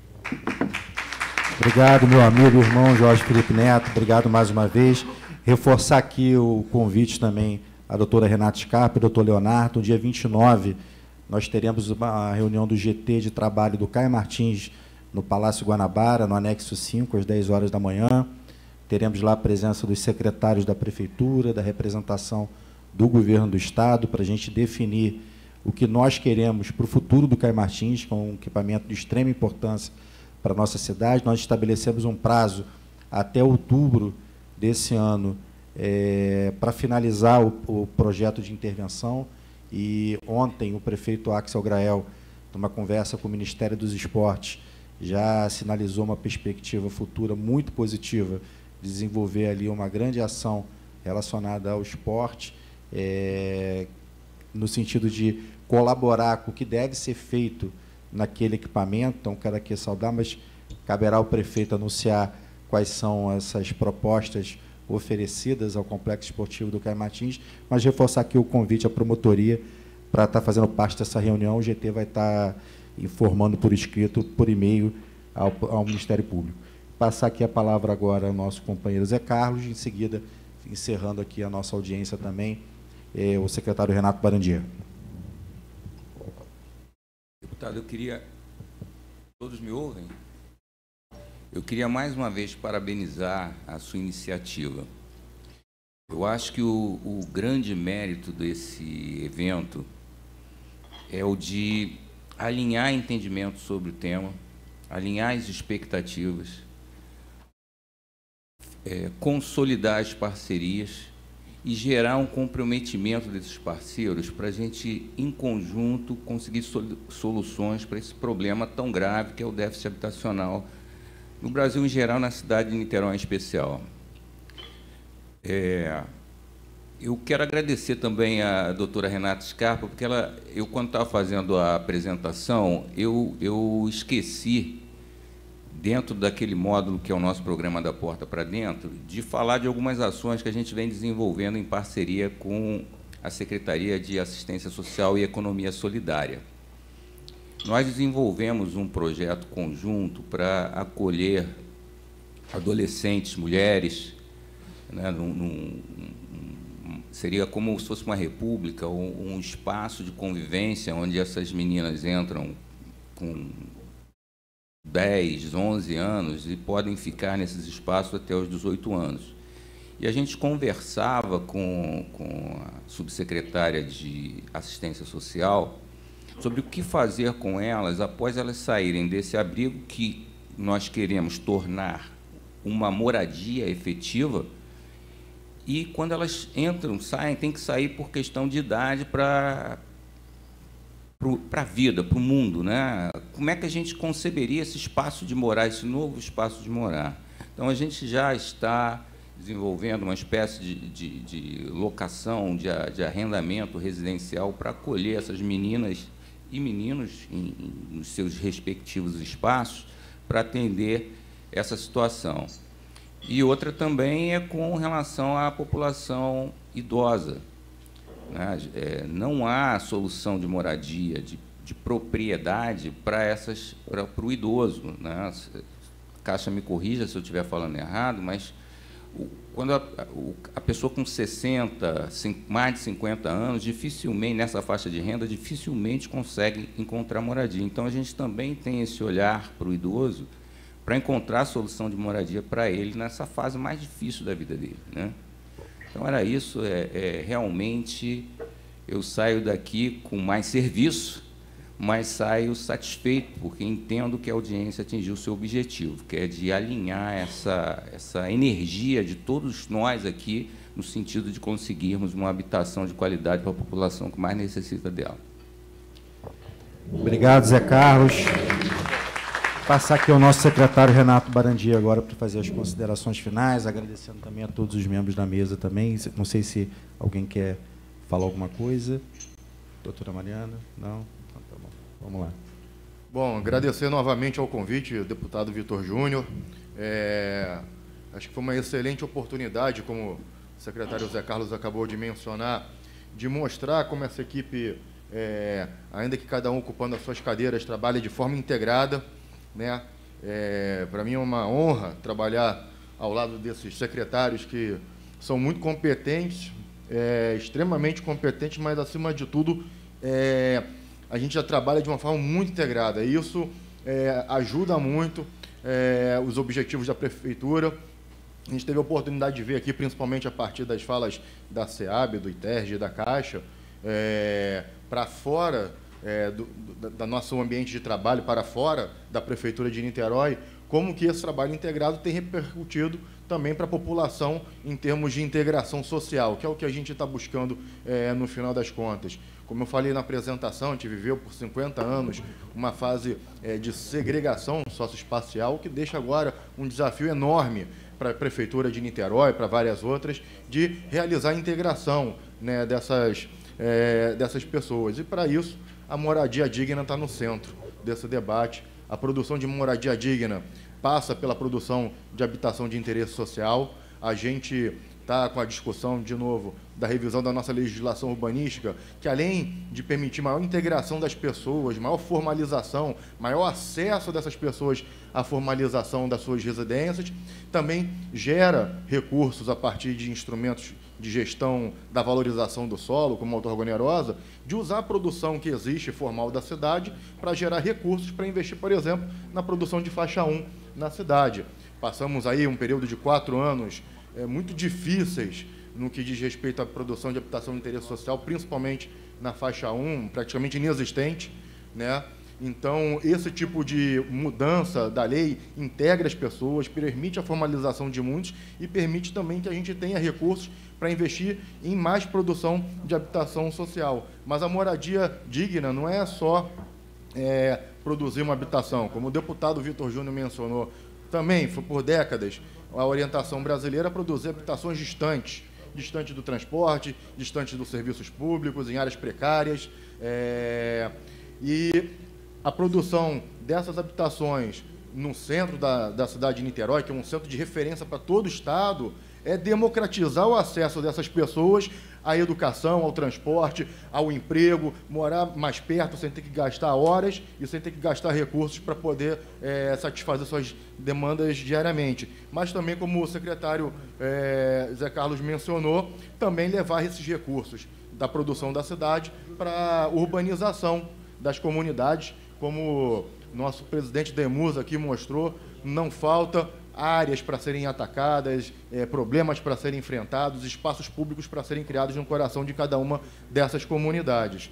É, então, assim, foi um prazer aqui, deputado. Espero também assim que tenhamos conseguido passar com clareza aqui um pouco do nosso trabalho.